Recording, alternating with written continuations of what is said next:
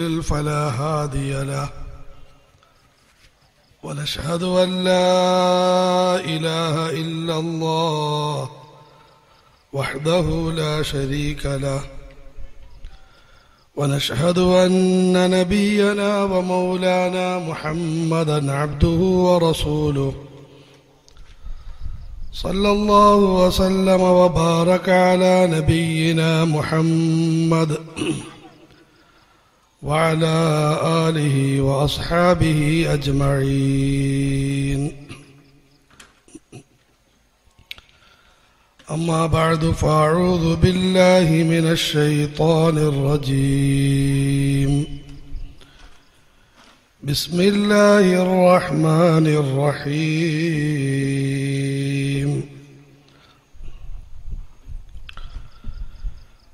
من عمل صالحا من ذكر أو أنثى وهو مؤمن فلنحيينه حياة طيبة ولنجزينهم أجرهم بأحسن ما كانوا بأحسن ما كانوا يعملون. قال النبي صلى الله عليه وسلم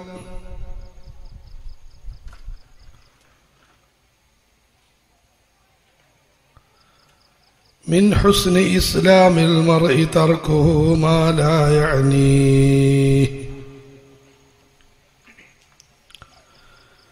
يا رب بالمصطفى بلغ مقاصدنا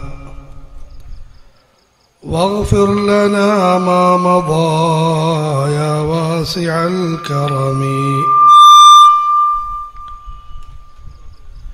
يا رب هيئ لنا من أمرنا رشدا واجعل معونتك الحسنى لنا مددا. مولاي صل وسلم دائما أبدا على حبيبك خير الخلق كلهم ബഹുമാന്യ സഹോദരങ്ങളെ അള്ളാഹുവിൻ്റെ അതിമഹത്തായ അനുഗ്രഹത്താൽ ഈ പ്രദേശത്ത് അനുഗ്രഹീത ദീനിൻ്റെ പേരിൽ ഒരു മഹത്തായ സമ്മേളന പരമ്പര സംഘടിപ്പിക്കപ്പെട്ടിരിക്കുകയാണ്. ഇതിൽ വളരെയധികം സങ്കീർണവും എന്നാൽ നാം എല്ലാവരും അടിയന്തര പ്രാധാന്യത്തോടെ മനസ്സിലാക്കുകയും ഉൾക്കൊള്ളുകയും ജീവിതത്തിന്റെ മാർഗദർശനമാക്കുകയും ചെയ്യേണ്ട ഒരു പ്രധാനപ്പെട്ട വിഷയമാണ് എന്നിൽ അർപ്പിതമായിരിക്കുന്നത്. മുസ്ലിംകളുടെ പ്രശ്നങ്ങളും പരിഹാരങ്ങളും എന്നതാണ് എന്നെ ഏൽപ്പിക്കപ്പെട്ടിരിക്കുന്ന പ്രധാനപ്പെട്ട വിഷയം. സമുദായത്തിന് മുന്നിൽ എണ്ണിയാൽ തീരാത്ത നിലയിൽ ധാരാളം പ്രശ്നങ്ങളുണ്ട്. അതിലെല്ലാം ഉപരിയായിട്ടാണ് ഈ അടുത്ത കാലഘട്ടത്തിൽ ഭരണകൂടത്തിന്റെ ഭാഗത്തു നിന്നും അങ്ങേയറ്റം നിന്ദ്യമായ ഗൂഢാലോചനകളുടെ വെളിച്ചത്തിൽ ഒരു പ്രശ്നത്തിന് തുടക്കം കുറിക്കപ്പെട്ടിരിക്കുന്നത്. ഈ പ്രശ്നം രൂക്ഷമായത് ഈ അടുത്ത കാലഘട്ടത്തിലാണെങ്കിലും ഇതിന്റെ വേരുകൾ വർഷങ്ങളോളം നീണ്ടു കിടക്കുന്നതാണ്. അതുകൊണ്ട് തന്നെ ഇതിന്റെ ശരിയായ പരിഹാരം നിർവഹിക്കപ്പെട്ടില്ലെങ്കിൽ ഈ പ്രശ്നം എങ്ങുമെത്താത്ത നിലയിലും കൂടുതൽ കുരുക്ക് നിറഞ്ഞ നിലയിലും പരിണമിക്കാൻ സാധ്യതയുണ്ട്. അള്ളാഹു കാത്തുരക്ഷിക്കുമാറാകട്ടെ. നമ്മുടെ മുൻഗാമികളായ മഹത്വക്കൾ ഈ രാജ്യത്തിന്റെ സന്തതികൾ തന്നെയാണ്.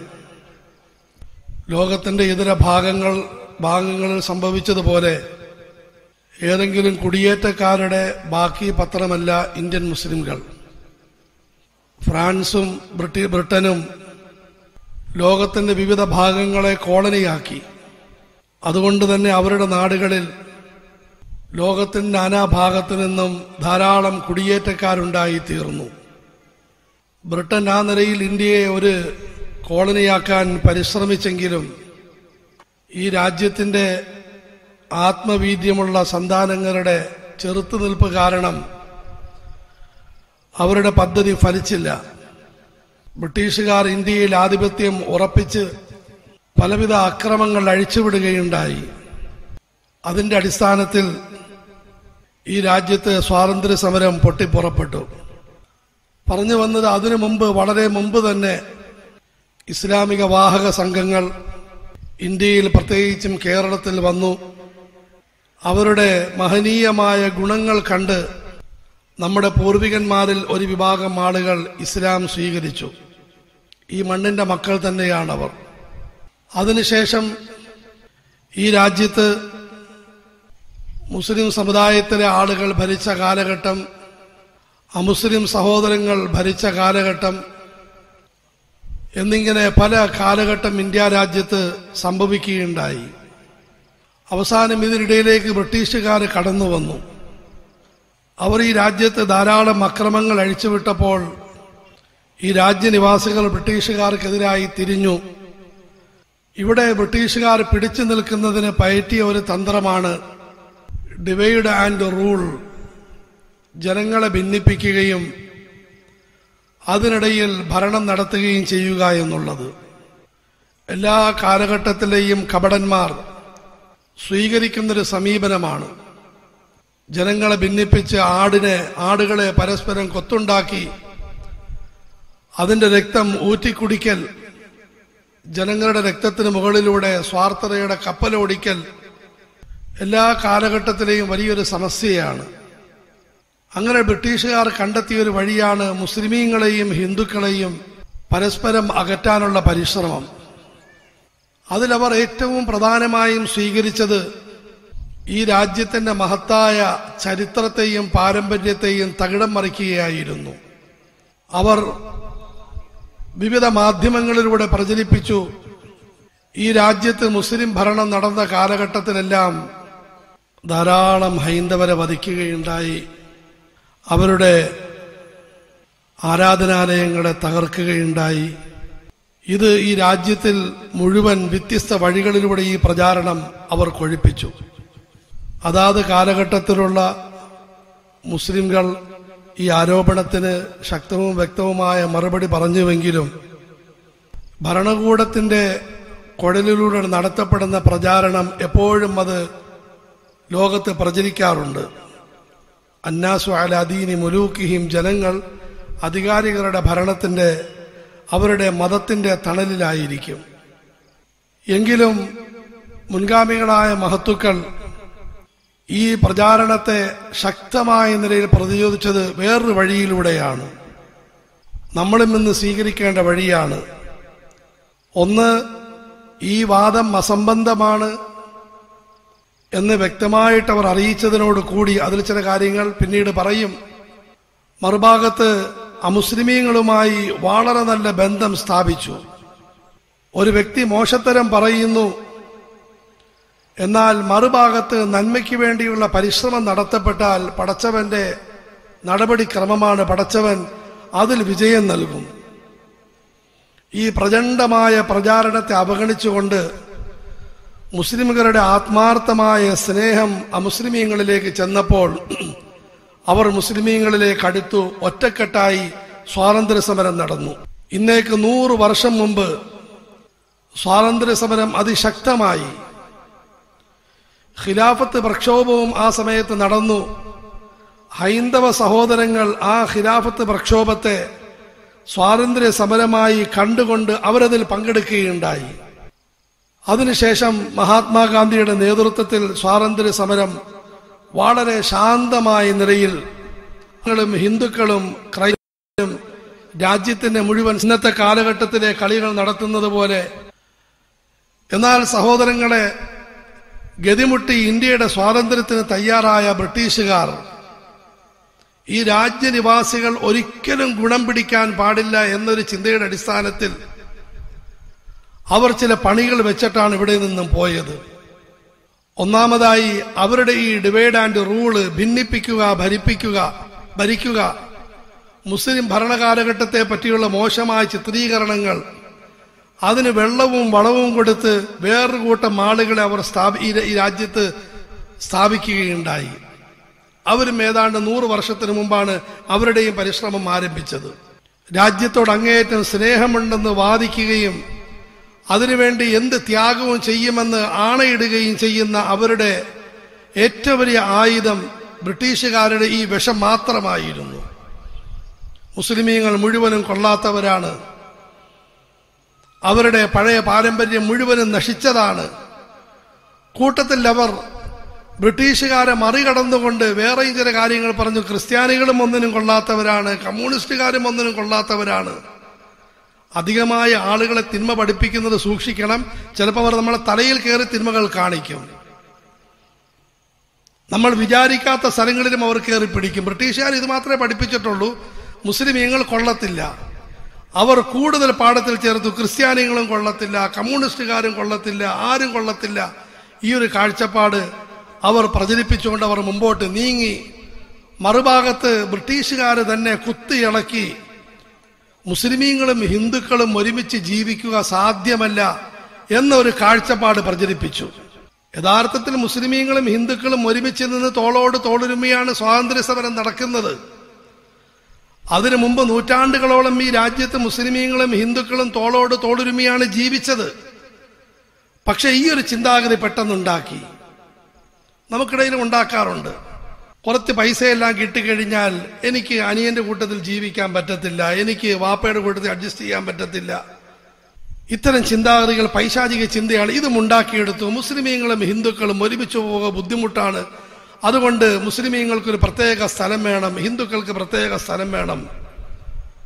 മഹാന്മാരായ മുസ്ലിം പണ്ഡിതന്മാർ അതിശക്തമായി പറഞ്ഞു ഒരു നിലയ്ക്ക് ഞങ്ങൾ സമ്മതിക്കത്തില്ല. അതിനുവേണ്ടി സമുദായത്തിന്റെ ഭാഗത്ത് നിന്നും പണ്ഡിതന്മാർക്ക് ചീമുട്ടയേറ് ഏറ്റുവാങ്ങേണ്ടി വന്നു. ഞങ്ങളുടെ തലപ്പാവ് പലപ്പോഴും വലിച്ചെറിയപ്പെട്ടു. ഞങ്ങളുടെ ഉടുപ്പ് പലപ്പോഴും കീറപ്പെട്ടു. പള്ളികളിൽ മസ്ജിദുകളിൽ മദ്രസകളിൽ. പക്ഷേ പണ്ഡിതന്മാർ പറഞ്ഞ നിലപാടിൽ മാറ്റമില്ല. ഞങ്ങൾക്ക് പാകിസ്ഥാൻ എന്ന് പറയുന്ന ഒരു സ്ഥലത്തിന്റെ ആവശ്യമില്ല. വിശുദ്ധ നാട്. പണ്ഡിതന്മാർ പറഞ്ഞു പടച്ചവൻ ലോകം മുഴുവൻ വിശുദ്ധ നാടാക്കിയിരിക്കുന്നു. അതിനിടയ്ക്ക് പാകിസ്ഥാൻ എന്ന് പറഞ്ഞൊരു പ്രത്യേക സ്ഥലത്തിന്റെ ആവശ്യം എന്തിനാണുള്ളത്? ആദരവായ റസൂലുല്ലാഹി പറയും സല്ലല്ലാഹു അലൈഹി വസല്ലമരടി ജുഇലത്തിലിയൽ അർദു മ- കുല്ലുഹാ മസ്ജിദം ഭൂമി മുഴുവനും എനിക്ക് വേണ്ടി നമസ്കാരത്തിന്റെ സ്ഥലവും ശുദ്ധീകരണ സ്ഥാനവുമാക്കപ്പെട്ടു എന്ന് അരളിയിരിക്കവേ ഈ രാജ്യത്തിന്റെ തലയുടെ കുറച്ച് ഭാഗവും കാലിന്റെ കുറച്ച് ഭാഗവും പാകിസ്ഥാൻ വിശുദ്ധ നാടെന്ന് പറഞ്ഞുകൊണ്ട് ഞങ്ങൾക്കൊരു നാട് വേണ്ട. സമുദായത്തിലെ അല്പജ്ഞാനികൾ വലിയ ബഹളമുണ്ടാക്കി. നമുക്കൊരു മുടി ഒരു മുറി കട കിട്ടത്തില്ലേ? എന്താ ഇവരിങ്ങനെ പറയുന്നത്? വേണ്ട പറ്റത്തില്ല വേണ്ട. ഈ രാജ്യത്തിന്റെ പാരമ്പര്യം സഹകരിച്ച് ജീവിക്കൽ സ്വാതന്ത്ര്യം ലഭിക്കൽ സഹകരണത്തിലൂടെ ഈ രാജ്യം മുമ്പോട്ട് നീങ്ങുന്നതും സഹകരണത്തിലൂടെ മുസ്ലിം പണ്ഡിതന്മാർ പറഞ്ഞു. സമുദായം ശരിക്കും മനസ്സിലാക്കണം ജനങ്ങൾക്ക് മനസ്സിലാക്കി കൊടുക്കണം. ഈ രാജ്യത്തിന്റെ സഹസ്രാബ്ദങ്ങളുടെ പാരമ്പര്യം സഹകരണം സ്വാതന്ത്ര്യ സമരത്തിന്റെ വിജയത്തിന്റെ കാരണം സഹകരണം ഈ മുമ്പോട്ട് നീങ്ങ ഈ ലോകത്ത് ഇന്ന് വരെയും രാജ്യത്തിന് വേണ്ടി വലിയ ത്യാഗം ചെയ്ത പണ്ഡിതന്മാർ ആ ഒരു രാജ്യത്തെ അംഗീകരിച്ചിട്ടില്ല. ഞങ്ങളോട് ആ രാജ്യത്തുള്ള ആളുകൾക്ക് ഭയങ്കര ദേഷ്യവുമാണ്. സഹോദരങ്ങളെ എന്താണെങ്കിലും ആ ഒരു സംഭവം നടന്നു. ലക്ഷക്കണക്കിന് ആളുകൾ കൊല്ലപ്പെട്ടു. അതിന് മുസ്ലിമീങ്ങൾ ആരും ഉത്തരവാദിയല്ല. രാജ്യത്തെ കീറി മുറിക്കപ്പെട്ടു. അതിനുശേഷം ആ രാജ്യത്തെ രണ്ടായിട്ട് കീറി മുറിക്കപ്പെട്ടു. വലിയ പ്രശ്നങ്ങളുണ്ടായി. അതിനുശേഷം ഈ രാജ്യത്ത് വീണ്ടും ഭരണം ആരംഭിച്ചു. എല്ലാവരും കൂടിയിരുന്ന് എങ്ങനെ ഭരിക്കണം? ഈ രാജ്യത്തിന്റെ ഒരു ഒന്നാം തരം അറിവും അനുഭവമുള്ളൊരു വ്യക്തി ഡോക്ടർ അംബേദ്കർ മുമ്പോട്ട് വന്നു. ഈ രാജ്യത്തിന് നല്ല സന്താനങ്ങളെ കൂട്ടിയിരുത്തി അവർ ചർച്ചകൾ നടത്തി. നമ്മളുടെ പ്രശ്നവുമായി ബന്ധപ്പെട്ട കാര്യം ഒരാൾ എവിടെന്നോ വന്നു എഴുപത്തിരണ്ട് മണിക്കൂർ കൊണ്ടാണ് കടകടാ കാര്യങ്ങളൊക്കെ ഉണ്ടാക്കിയെടുത്തിരിക്കുന്നത്. ഒന്നര വർഷത്തിലേറെ ഈ രാജ്യത്ത് ചർച്ചകൾ നടത്തുകയുണ്ടായി. ആർക്ക് അഭിപ്രായ വ്യത്യാസമുണ്ടോ ഞങ്ങളോട് പറയാൻ ഞങ്ങൾക്ക് എഴുതി അയക്കാം. വലിയ നീണ്ട ചർച്ചകൾ നടത്തി ഒരു ഭരണഘടന കൊണ്ടുവരികയുണ്ടായി. ആ ഭരണഘടനയുടെ ആകെ ചുരുക്കം ഇത് തന്നെയാണ്. ഈ രാജ്യത്തിന്റെ പാരമ്പര്യം സഹകരണം സമത്വം നീതി ന്യായം സാഹോദര്യം ഈ രാജ്യത്തിന്റെ മുമ്പോട്ടുള്ള ഭാവിയും ഇതിൽ അധിഷ്ഠിതമായിരിക്കും ഭരണഘടന വ്യക്തമാക്കി. പക്ഷേ സഹോദരങ്ങളെ ഒരു ദുരുദ്ദേശം എന്ന് പറയുന്നത് അതിന് വേര് മുറിക്കപ്പെട്ടില്ലെങ്കിൽ അത് വീണ്ടും വളർന്ന് വലുതായിക്കൊണ്ടിരിക്കും. വിദ്വേഷം ശത്രുത ഇത് അതിന് വേര് മുറിക്കപ്പെട്ടില്ലെങ്കിൽ വീണ്ടും അത് പ്രശ്നങ്ങൾ ഉണ്ടാക്കിക്കൊണ്ടിരിക്കും പ്രശ്നങ്ങൾ ഉണ്ടാക്കിക്കൊണ്ടേയിരുന്നു ആദ്യം. ഈ രാജ്യത്തിന്റെ ഏതാണ്ട് മുഴുവൻ പ്രധാനപ്പെട്ട നഗരങ്ങളിലും ഈ പാവപ്പെട്ട മുസ്ലിം സമുദായത്തിന് നേരെ വർഗീയ ആക്രമങ്ങൾ ഉണ്ടായി വർഗീയ കലാപങ്ങൾ ഉണ്ടായി ഞങ്ങൾക്ക് പാകിസ്ഥാനുമായി യാതൊരു ബന്ധവുമില്ല. മൊത്തം ഇവിടെ പറഞ്ഞു കഴിഞ്ഞു ശക്തമായ എതിർപ്പ്. പാകിസ്ഥാനോട് അങ്ങോട്ടേക്ക് വിളിക്കപ്പെട്ടു പണ്ഡിതന്മാരെ. നിങ്ങൾ അങ്ങോട്ട് വരും ഇല്ല ഞങ്ങൾ വരത്തില്ല. ഞങ്ങൾ അതിനു വേണ്ടിയല്ല പോരാടിയത്.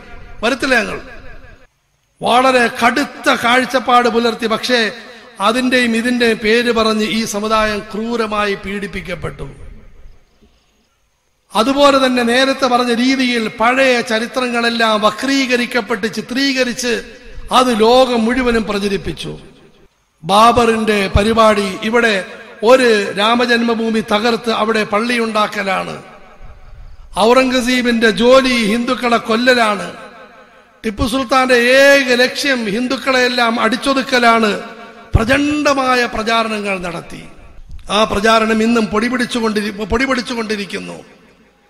ഈ പ്രചാരണത്തിലൂടെയാണ് ഇവിടെ ഒരു കൂട്ടം ആളുകൾ പതുക്കെ പതുക്കെ ഭരണത്തിലേക്ക് വന്നു. ഇന്ന് മൃഗീയ ഭൂരിപക്ഷത്തിൽ അവർ ഭരണം നടത്തിക്കൊണ്ടിരിക്കുകയാണ്. എന്നിട്ട് അവരുടെ ലക്ഷ്യത്തിലേക്ക് അവർ മുമ്പോട്ട് നീങ്ങിക്കൊണ്ടിരിക്കുന്നു. അവരുടെ പ്രധാനപ്പെട്ട ലക്ഷ്യമാണ് മുസ്ലിമീങ്ങൾ ഈ രാജ്യത്തിന് നാശമാണ് അവരെ ഇല്ലാതാക്കണം. പക്ഷെ ആരും വിചാരിക്കാൻ കൊണ്ട് തീരുമെന്ന് ശേഷം അവർ ക്രിസ്ത്യാനികളെ ഇല്ലാതാക്കും ശേഷം അവർ കമ്മ്യൂണിസ്റ്റുകാരെ ഇല്ലാതാക്കും. തീരത്തില്ല. പിന്നീട് അവർ തന്നെ പരസ്പരം ഇല്ലാതാകും. മഹാരാഷ്ട്ര അതിന്റെ തെളിവാണ്. വർഗീയത ആർത്തി ആക്രാന്തം. ഇത് മനുഷ്യനെ എവിടെയും നിർത്തത്തൊന്നുമില്ല. ഏതെങ്കിലും കള്ളന്മാരെ കള്ളത്തിനെ മാറ്റി വെക്കുമോ? എത്ര കിട്ടിയാലും അവർക്ക് വീണ്ടും കട്ടുകൊണ്ടിരിക്കണം. വർഗീയത എന്ന് പറയുന്ന ഒരു വല്ലാത്ത ആക്രാന്തമാണ് ആർത്തിയാണ്. അത് എത്ര കിട്ടിയാലും മതിയാവുകയില്ല. വീണ്ടും തിന്നുകൊണ്ടിരിക്കും. തീ തീയനെ തിന്നുന്നത് പോലെ അവസാനം ഇവർ സ്വയം നശിക്കുന്നത് വരെയും ഇത് നീണ്ടുകൊണ്ടിരിക്കും. പക്ഷേ പാടില്ല. ഒന്ന് നമ്മളുടെ രാജ്യമാണ്. രണ്ട് നമ്മളും നമ്മളുടെ സഹോദരങ്ങളുമാണ്. ഇതാണ് സഹോദരങ്ങൾ ഇന്നത്തെ പ്രശ്നത്തിന്റെ ആകെ ചുരുക്കം. ബാക്കി കാര്യങ്ങൾ നിങ്ങൾ പത്രത്തിലൂടെ എല്ലാം അറിയുന്നതാണ്. ഞാൻ കൂടുതൽ കൂട്ടുന്നില്ല. ഞാൻ പറഞ്ഞതിനാകെ ചുരുക്കം. ഈ പ്രശ്നം വളരെ നേരത്തെ തുടങ്ങി ഇന്ന് ഫടം പിരിച്ചാടുകയാണ്. അടുത്തതായി എന്താണ് ഇതിന്റെ പരിഹാരം? ഇതിന്റെ ഒന്നാമത്തെ പരിഹാരം ആദ്യത്തെ പരിഹാരം നമ്മൾ നമ്മളുടെ കഴിവനുസരിച്ച് ഈ എതിരായ പ്രചാരണങ്ങൾക്ക് ന്യായമായ മറുപടി നൽകലാണ്. നമ്മൾ അനങ്ങാതിരുന്നാൽ പറ്റില്ല. ന്യായമായ മറുപടി നൽകണം. ഉദാഹരണത്തിന് ഞാനിവിടെ നിൽക്കുകയാണ്.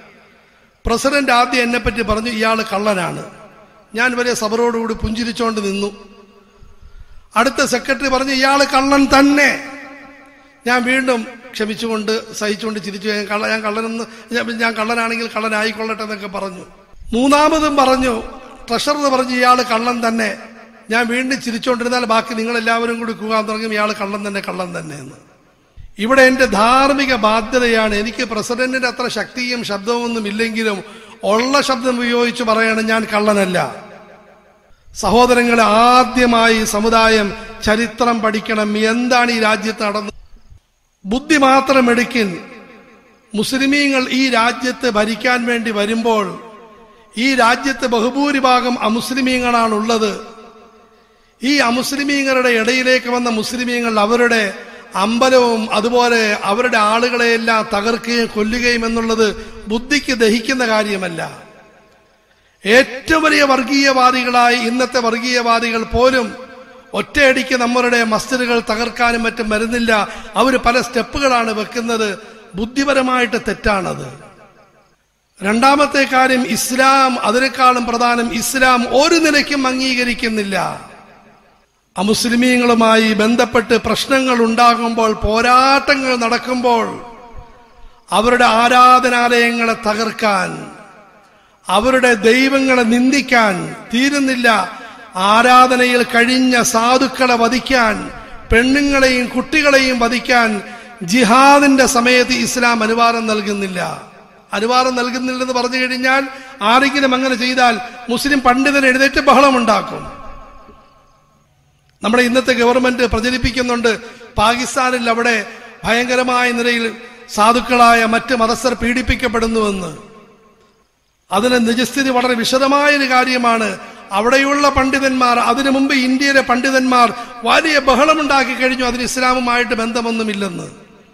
മുസ്ലിം പണ്ഡിതന്മാർ എഴുന്നേക്കും ഇസ്ലാമിന്റെ കൽപ്പനയാണ് വല തസുബുല്ലദീന يدعون من دون الله فيسبوا الله عدوا بغير علم പടച്ചവനല്ലാത്ത എന്തെല്ലാം വസ്തുക്കളെ അമുസ്ലിമീങ്ങൾ ആരാധിക്കുന്നുണ്ടോ നിങ്ങൾ അതിനെ ഭർസിക്കാൻ പാടില്ല സബ് എന്നത് ആക്ഷേപത്തിന്റെ മുഴുവൻ കാര്യങ്ങൾക്കും പറയുന്ന അറബി വാക്കാണ് തെറി വിളിക്കാൻ പാടില്ല ആക്ഷേപിക്കാൻ പാടില്ല നിന്ദിക്കാൻ പാടില്ല രേഖാമൂലം ഞങ്ങൾ ചില കാര്യങ്ങൾ പറയും അത് വേറെ കാര്യം തൗഹീദിനെ സ്ഥിരപ്പെടുത്താനും ഷിർക്കിനെ അസ്ഥിരപ്പെടുത്താനും ന്യായമായ നിലയിൽ കാര്യങ്ങൾ പറയും. അല്ലാതെ ഇവിടുത്തെ ഹൈന്ദവന്റെ ആരാധ്യ വസ്തുക്കളെയും ക്രൈസ്തവരുടെ ആരാധ്യ വസ്തുക്കളെയും അതുപോലെ തന്നെ ആരുടെ ആരാധ്യ വസ്തുക്കൾ നിന്ദിക്കാൻ മുസ്ലിമീങ്ങൾക്ക് അനുവാദമില്ല. അവരുടെ ക്ഷേത്രങ്ങൾ ആരാധനാലയങ്ങൾ തകർക്കാൻ അനുവാദമില്ല. ബാബരി മസ്ജിദിന്റെ വിഷയത്തിൽ ഒന്നാമതായി മുസ്ലിമീങ്ങളുടെ വാദം അതായിരുന്നു. ബാബർ ചക്രവർത്തി പണിത് അവിടെ രാമജന്മഭൂമി ഉണ്ടായിരുന്നുവെങ്കിൽ ഒരിക്കലും മുസ്ലിമീങ്ങൾ സമ്മതിക്കത്തില്ല. ഞങ്ങൾക്ക് അങ്ങനെ പള്ളി വേണ്ടെന്ന് പറയും മുസ്ലിമീങ്ങൾ. പടച്ചവന്റെ അനുഗ്രഹത്താൽ അത്ഭുതകരമായി വിധി വിധിച്ച സുപ്രീം കോടതിയും ഇത് ശരിവെച്ചു. അവിടെ മുമ്പൊരു അമ്പലമില്ലായിരുന്നു ശരിവെച്ചു. ഇസ്ലാമിന്റെ വ്യക്തമായ കാഴ്ചപ്പാട് സമുദായം പഠിക്കണം അത്.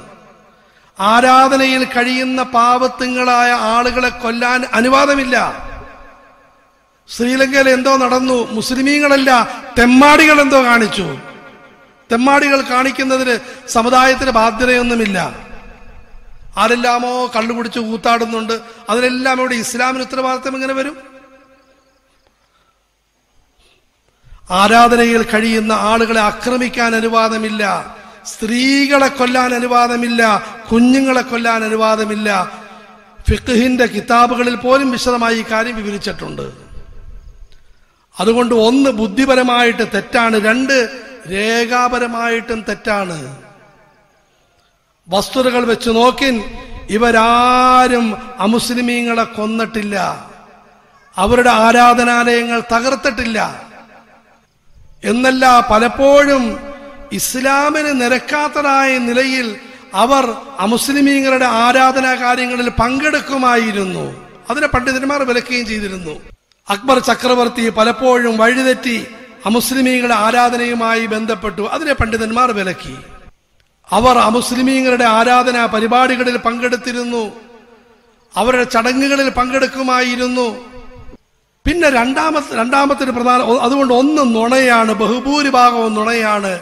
രണ്ട് ശരിയാണ് ചില സമയങ്ങളിൽ കൊലയും തകർക്കലും നടന്നിട്ടുണ്ട്. അത് ഹിന്ദുക്കൾ എന്ന നിലയിലോ അല്ലെങ്കിൽ ഹൈന്ദവ ക്ഷേത്രങ്ങൾ എന്ന നിലയിലോ അല്ല അതിന് ചില ചരിത്രങ്ങൾ ഞങ്ങൾക്ക് വളരെ ബുദ്ധിമുട്ട് പ്രയാസപ്പെട്ട് അതിവിടെ ലോകത്തിന് മുന്നിൽ പറയേണ്ടി വരും. മഹമൂദ് ഖസ്നബി ഗുജറാത്തിലെ ഒന്ന് രണ്ട് ക്ഷേത്രങ്ങൾ തകർക്കുകയുണ്ടായി. ക്ഷേത്രമല്ല തകർത്തത്. ഇവിടെ നിന്നും മുസ്ലിം രാജ്യത്തിലേക്ക് പെൺകുട്ടികളുടെ കത്തുകൾ പോയി ഞങ്ങൾ പീഡിപ്പിക്കപ്പെടുന്നു. അമ്പലങ്ങളിൽ വെച്ചാണ് ഞങ്ങൾ പീഡിപ്പിക്കപ്പെടുന്നത്. മുസ്ലിമീങ്ങൾ ഞങ്ങൾ സഹായം ആവശ്യപ്പെടുന്നു. സഹായിക്കണം സഹായിക്കണം. വർഗീയവാദികൾ ഞങ്ങളെ കൊണ്ട് ഈ സംഭവങ്ങൾ പറയിപ്പിക്കുകയാണ്. സമുദായം പറയാതെ മിണ്ടാതിരുന്നതാണ് പക്ഷെ സമയം എരിഞ്ഞ് പറയേണ്ടി വരും തുറന്നു. നാല് കത്തുകൾ ഹജ്ജാജിബിന് യൂസുഫിന് പോകുകയുണ്ടായി. ഞങ്ങളുടെ പക്കല്ല കത്തുകളുടെ രേഖകളുണ്ട്. ഇവിടെയുള്ള പെൺകുട്ടികൾ കത്തെഴുതി അവസാനം ചോര വെച്ചെഴുതി ഞങ്ങൾ കൊല്ലപ്പെടുകയാണെങ്കിൽ ഈശ്വരന്റെ മുന്നിൽ ഞങ്ങൾ നിങ്ങൾക്കെതിരായി സാക്ഷി നിൽക്കുമെന്ന് അവർ ചോര വെച്ച് കത്തെഴുതി. ആ സമയത്ത് മഹമ്മൂദ് ഖസനബിയെ ഇന്ത്യയിലേക്ക് അയച്ചു. അദ്ദേഹം സോമനാഥ് ക്ഷേത്രത്തിൽ വന്നു. ദിവസങ്ങളോളം പുറത്തു നിന്ന് അകത്തുള്ള ആളുകളെല്ലാം പുറത്തേക്ക് വരണമെന്ന് പറഞ്ഞു. കൊള്ളയടിച്ച് വെച്ചിരിക്കുന്നതായ പെണ്ണുങ്ങളെയും സ്വർണങ്ങളെയും വെളിയിലേക്ക് യഥാർത്ഥ അവകാശികൾക്ക് കൊടുക്കണമെന്ന് പറഞ്ഞു. കൊടുക്കുന്നില്ല കൊടുക്കുന്നില്ല കൊടുക്കുന്നില്ല.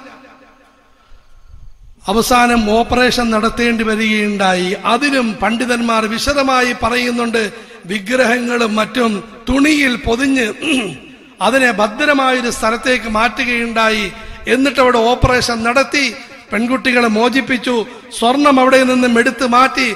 അതിനുശേഷം ആ വിഗ്രഹങ്ങളെ അമുസ്ലിമീങ്ങളെ തന്നെ ഏൽപ്പിക്കുകയുണ്ടായി. ഈ രാജ്യത്ത് അക്രമവും അനീതിയും നടന്നതായ സമയത്ത് പടച്ചവന്റെ ഭാഗത്ത് നിന്നും ഉത്തരവാദിത്തം ഏൽപ്പിച്ചതിന്റെ അടിസ്ഥാനത്തിൽ ഞങ്ങൾ ചില സേവനങ്ങൾ ചെയ്തിട്ടുണ്ട്. അത് ഈ രീതിയിലായിരുന്നു. പിന്നെ ചിലർ പറയുന്നു കുറെ അമ്പലങ്ങൾ ക്ഷേത്രമാക്കി അതിനും ശരിക്കും ചരിത്രങ്ങൾ മനസ്സിലാക്കണം. പഴയ കാലഘട്ടത്തിൽ അമ്പലങ്ങൾ എന്ന് പറയുന്നത് ഓരോ കുടുംബവുമായി ബന്ധപ്പെട്ടതാണ്. ഇന്നുകൊണ്ട് പല കുടുംബങ്ങളുമായി ബന്ധപ്പെട്ടാണ് ക്ഷേത്രങ്ങൾ ഉള്ളത് അവർ മുഴുവനും ഇസ്ലാമിലോട്ട് വരുമ്പോൾ ആ കുടുംബക്കാരെ തീരുമാനിക്കുന്നു ഞങ്ങൾ ഞങ്ങളുടെ ദേവാലയം മാറ്റി മസ്ജിദാക്കാമെന്ന്. മുസ്ലിമീങ്ങൾ പറയുന്നതോ അല്ലെങ്കിൽ കൽപ്പിക്കുന്നതോ അല്ല അതാത് കുടുംബക്കാരെ തീരുമാനിക്കുകയാണ്. ഉദാഹരണത്തിന് ഞാനിവിടെ ഈ നാട്ടിൽ വന്ന് ഒരു ഹൈന്ദവ സഹോദരന്റെ വീട് മേടിക്കുകയുണ്ടായി. ഒരേക്കർ സ്ഥലമുണ്ട് അതിൽ വീടുണ്ട്. ആ വീട്ടിൽ സ്വാഭാവികമായിട്ടും ആ സഹോദരന്റെ പൂജാമുറി ഉണ്ടായിരുന്നു. ഞാൻ ആ പൂജാമുറിയെ അവരെ നിന്ദിക്കുകയൊന്നും ചെയ്യാതെ നമസ്കാരത്തിന് മുറിയാക്കി മാറ്റി. ഇതിനാര് തെറ്റ് പറയും? ഈ രീതിയിൽ ചില സംഭവങ്ങൾ നടന്നിട്ടുണ്ട്. ആ സംഭവത്തിന്റെ ഉത്തരവാദിത്വം അതാത് നാട്ടുകാരാണ്. അതിന് മുസ്ലിമീങ്ങൾ പുറത്തുള്ളവരുമായി യാതൊരു ബന്ധവുമില്ല. പിന്നെ മൂന്നാമത്തെ പ്രധാനപ്പെട്ട വിഷയം ഈ പറയപ്പെട്ട വർഗീയതയുടെ ആളുകൾ ആളുകളായിട്ട് പ്രചരിപ്പിക്കപ്പെടുന്ന ആളുകൾക്ക് ഹൈന്ദവരുമായി വളരെ സ്നേഹനിർഭരമായ ബന്ധമായിരുന്നു. തിരിച്ചും ഹൈന്ദവരിൽ ചില സഹോദരങ്ങളെ ഇപ്പോൾ വർഗീയതയുടെ ആളുകളായിട്ട് പൊക്കിക്കൊണ്ടുവരുന്നുണ്ട്. അവർക്ക് മുസ്ലിമീങ്ങളോട് വളരെ സ്നേഹവും ബന്ധവുമായിരുന്നു. ഇത് ശരിക്കും നമ്മൾ പഠിക്കേണ്ട ജനങ്ങളെ പ്രചരിപ്പിക്കേണ്ട കാര്യമാണ്. ഉദാഹരണത്തിന് ഇന്ന് ഇന്ത്യയിൽ വളരെ കൂടുതലായി വർഗീയവാദിയായി ചിത്രീകരിക്കപ്പെടുന്ന വ്യക്തിയാണ് ഔറംഗസീബ് ആലംഗീർ. അള്ളാഹുവിന്റെ വലിയ തഹജ്ജര നമസ്കാരം കൊണ്ട് ഒരു ദിവസം ആരംഭിക്കുന്ന വ്യക്തി. രണ്ട് അതുപോലെ ഹൈന്ദവരുടെ നായകനും മുസ്ലിമീങ്ങളുടെ കഠിന ശത്രുവുമായി ചിത്രീകരിക്കപ്പെടുന്ന വ്യക്തിയാണ് ഛത്രപതി ശിവജി. സംഭവം നേരെ തിരിച്ചാണ്. ആ മുസ്ലിമീ ഔറംഗസീബിന്റെ പല സേനാ നായകന്മാരും അന്നത്തെ സേനയുടെ ഏറ്റവും പ്രധാനപ്പെട്ട രണ്ട് ഭാഗമാണ്. ഒന്ന് കപ്പൽപ്പടയും രണ്ട് ആയുധപ്പുരയും ഇത് രണ്ടിന്റെ കാവൽക്കാര് ഹൈന്ദവരായിരുന്നു. ഛത്രപതി ശിവജിയുടെ പ്രധാന മന്ത്രിമാര് അവർ മുസ്ലിമീങ്ങളായിരുന്നു. അന്നത്തെ കാലഘട്ടത്തിൽ നൂറ്റാണ്ടുകൾക്ക് മുമ്പ് പരിശുദ്ധ ഖുർആാനുമായി ഒരു ഗ്രന്ഥം രചിക്കുന്നതിന് പ്രസിദ്ധീകരിക്കുന്നതിന് ശിവജി കൊടുത്തത് ഇരുപത്തി അയ്യായിരം സ്വർണ നാണയമാണ്. പഴയ ചരിത്രങ്ങൾ നമ്മൾ മുമ്പോട്ട് കൊണ്ടുവരേണ്ടിയിരിക്കുന്നു. ഇവിടെ വലിയ സാഹോദര്യവും സമഭാവനയുമാണ് നടന്നിട്ടുള്ളത്. പിന്നെ ഇവർക്കിടയിൽ നടന്ന പോരാട്ടമോ?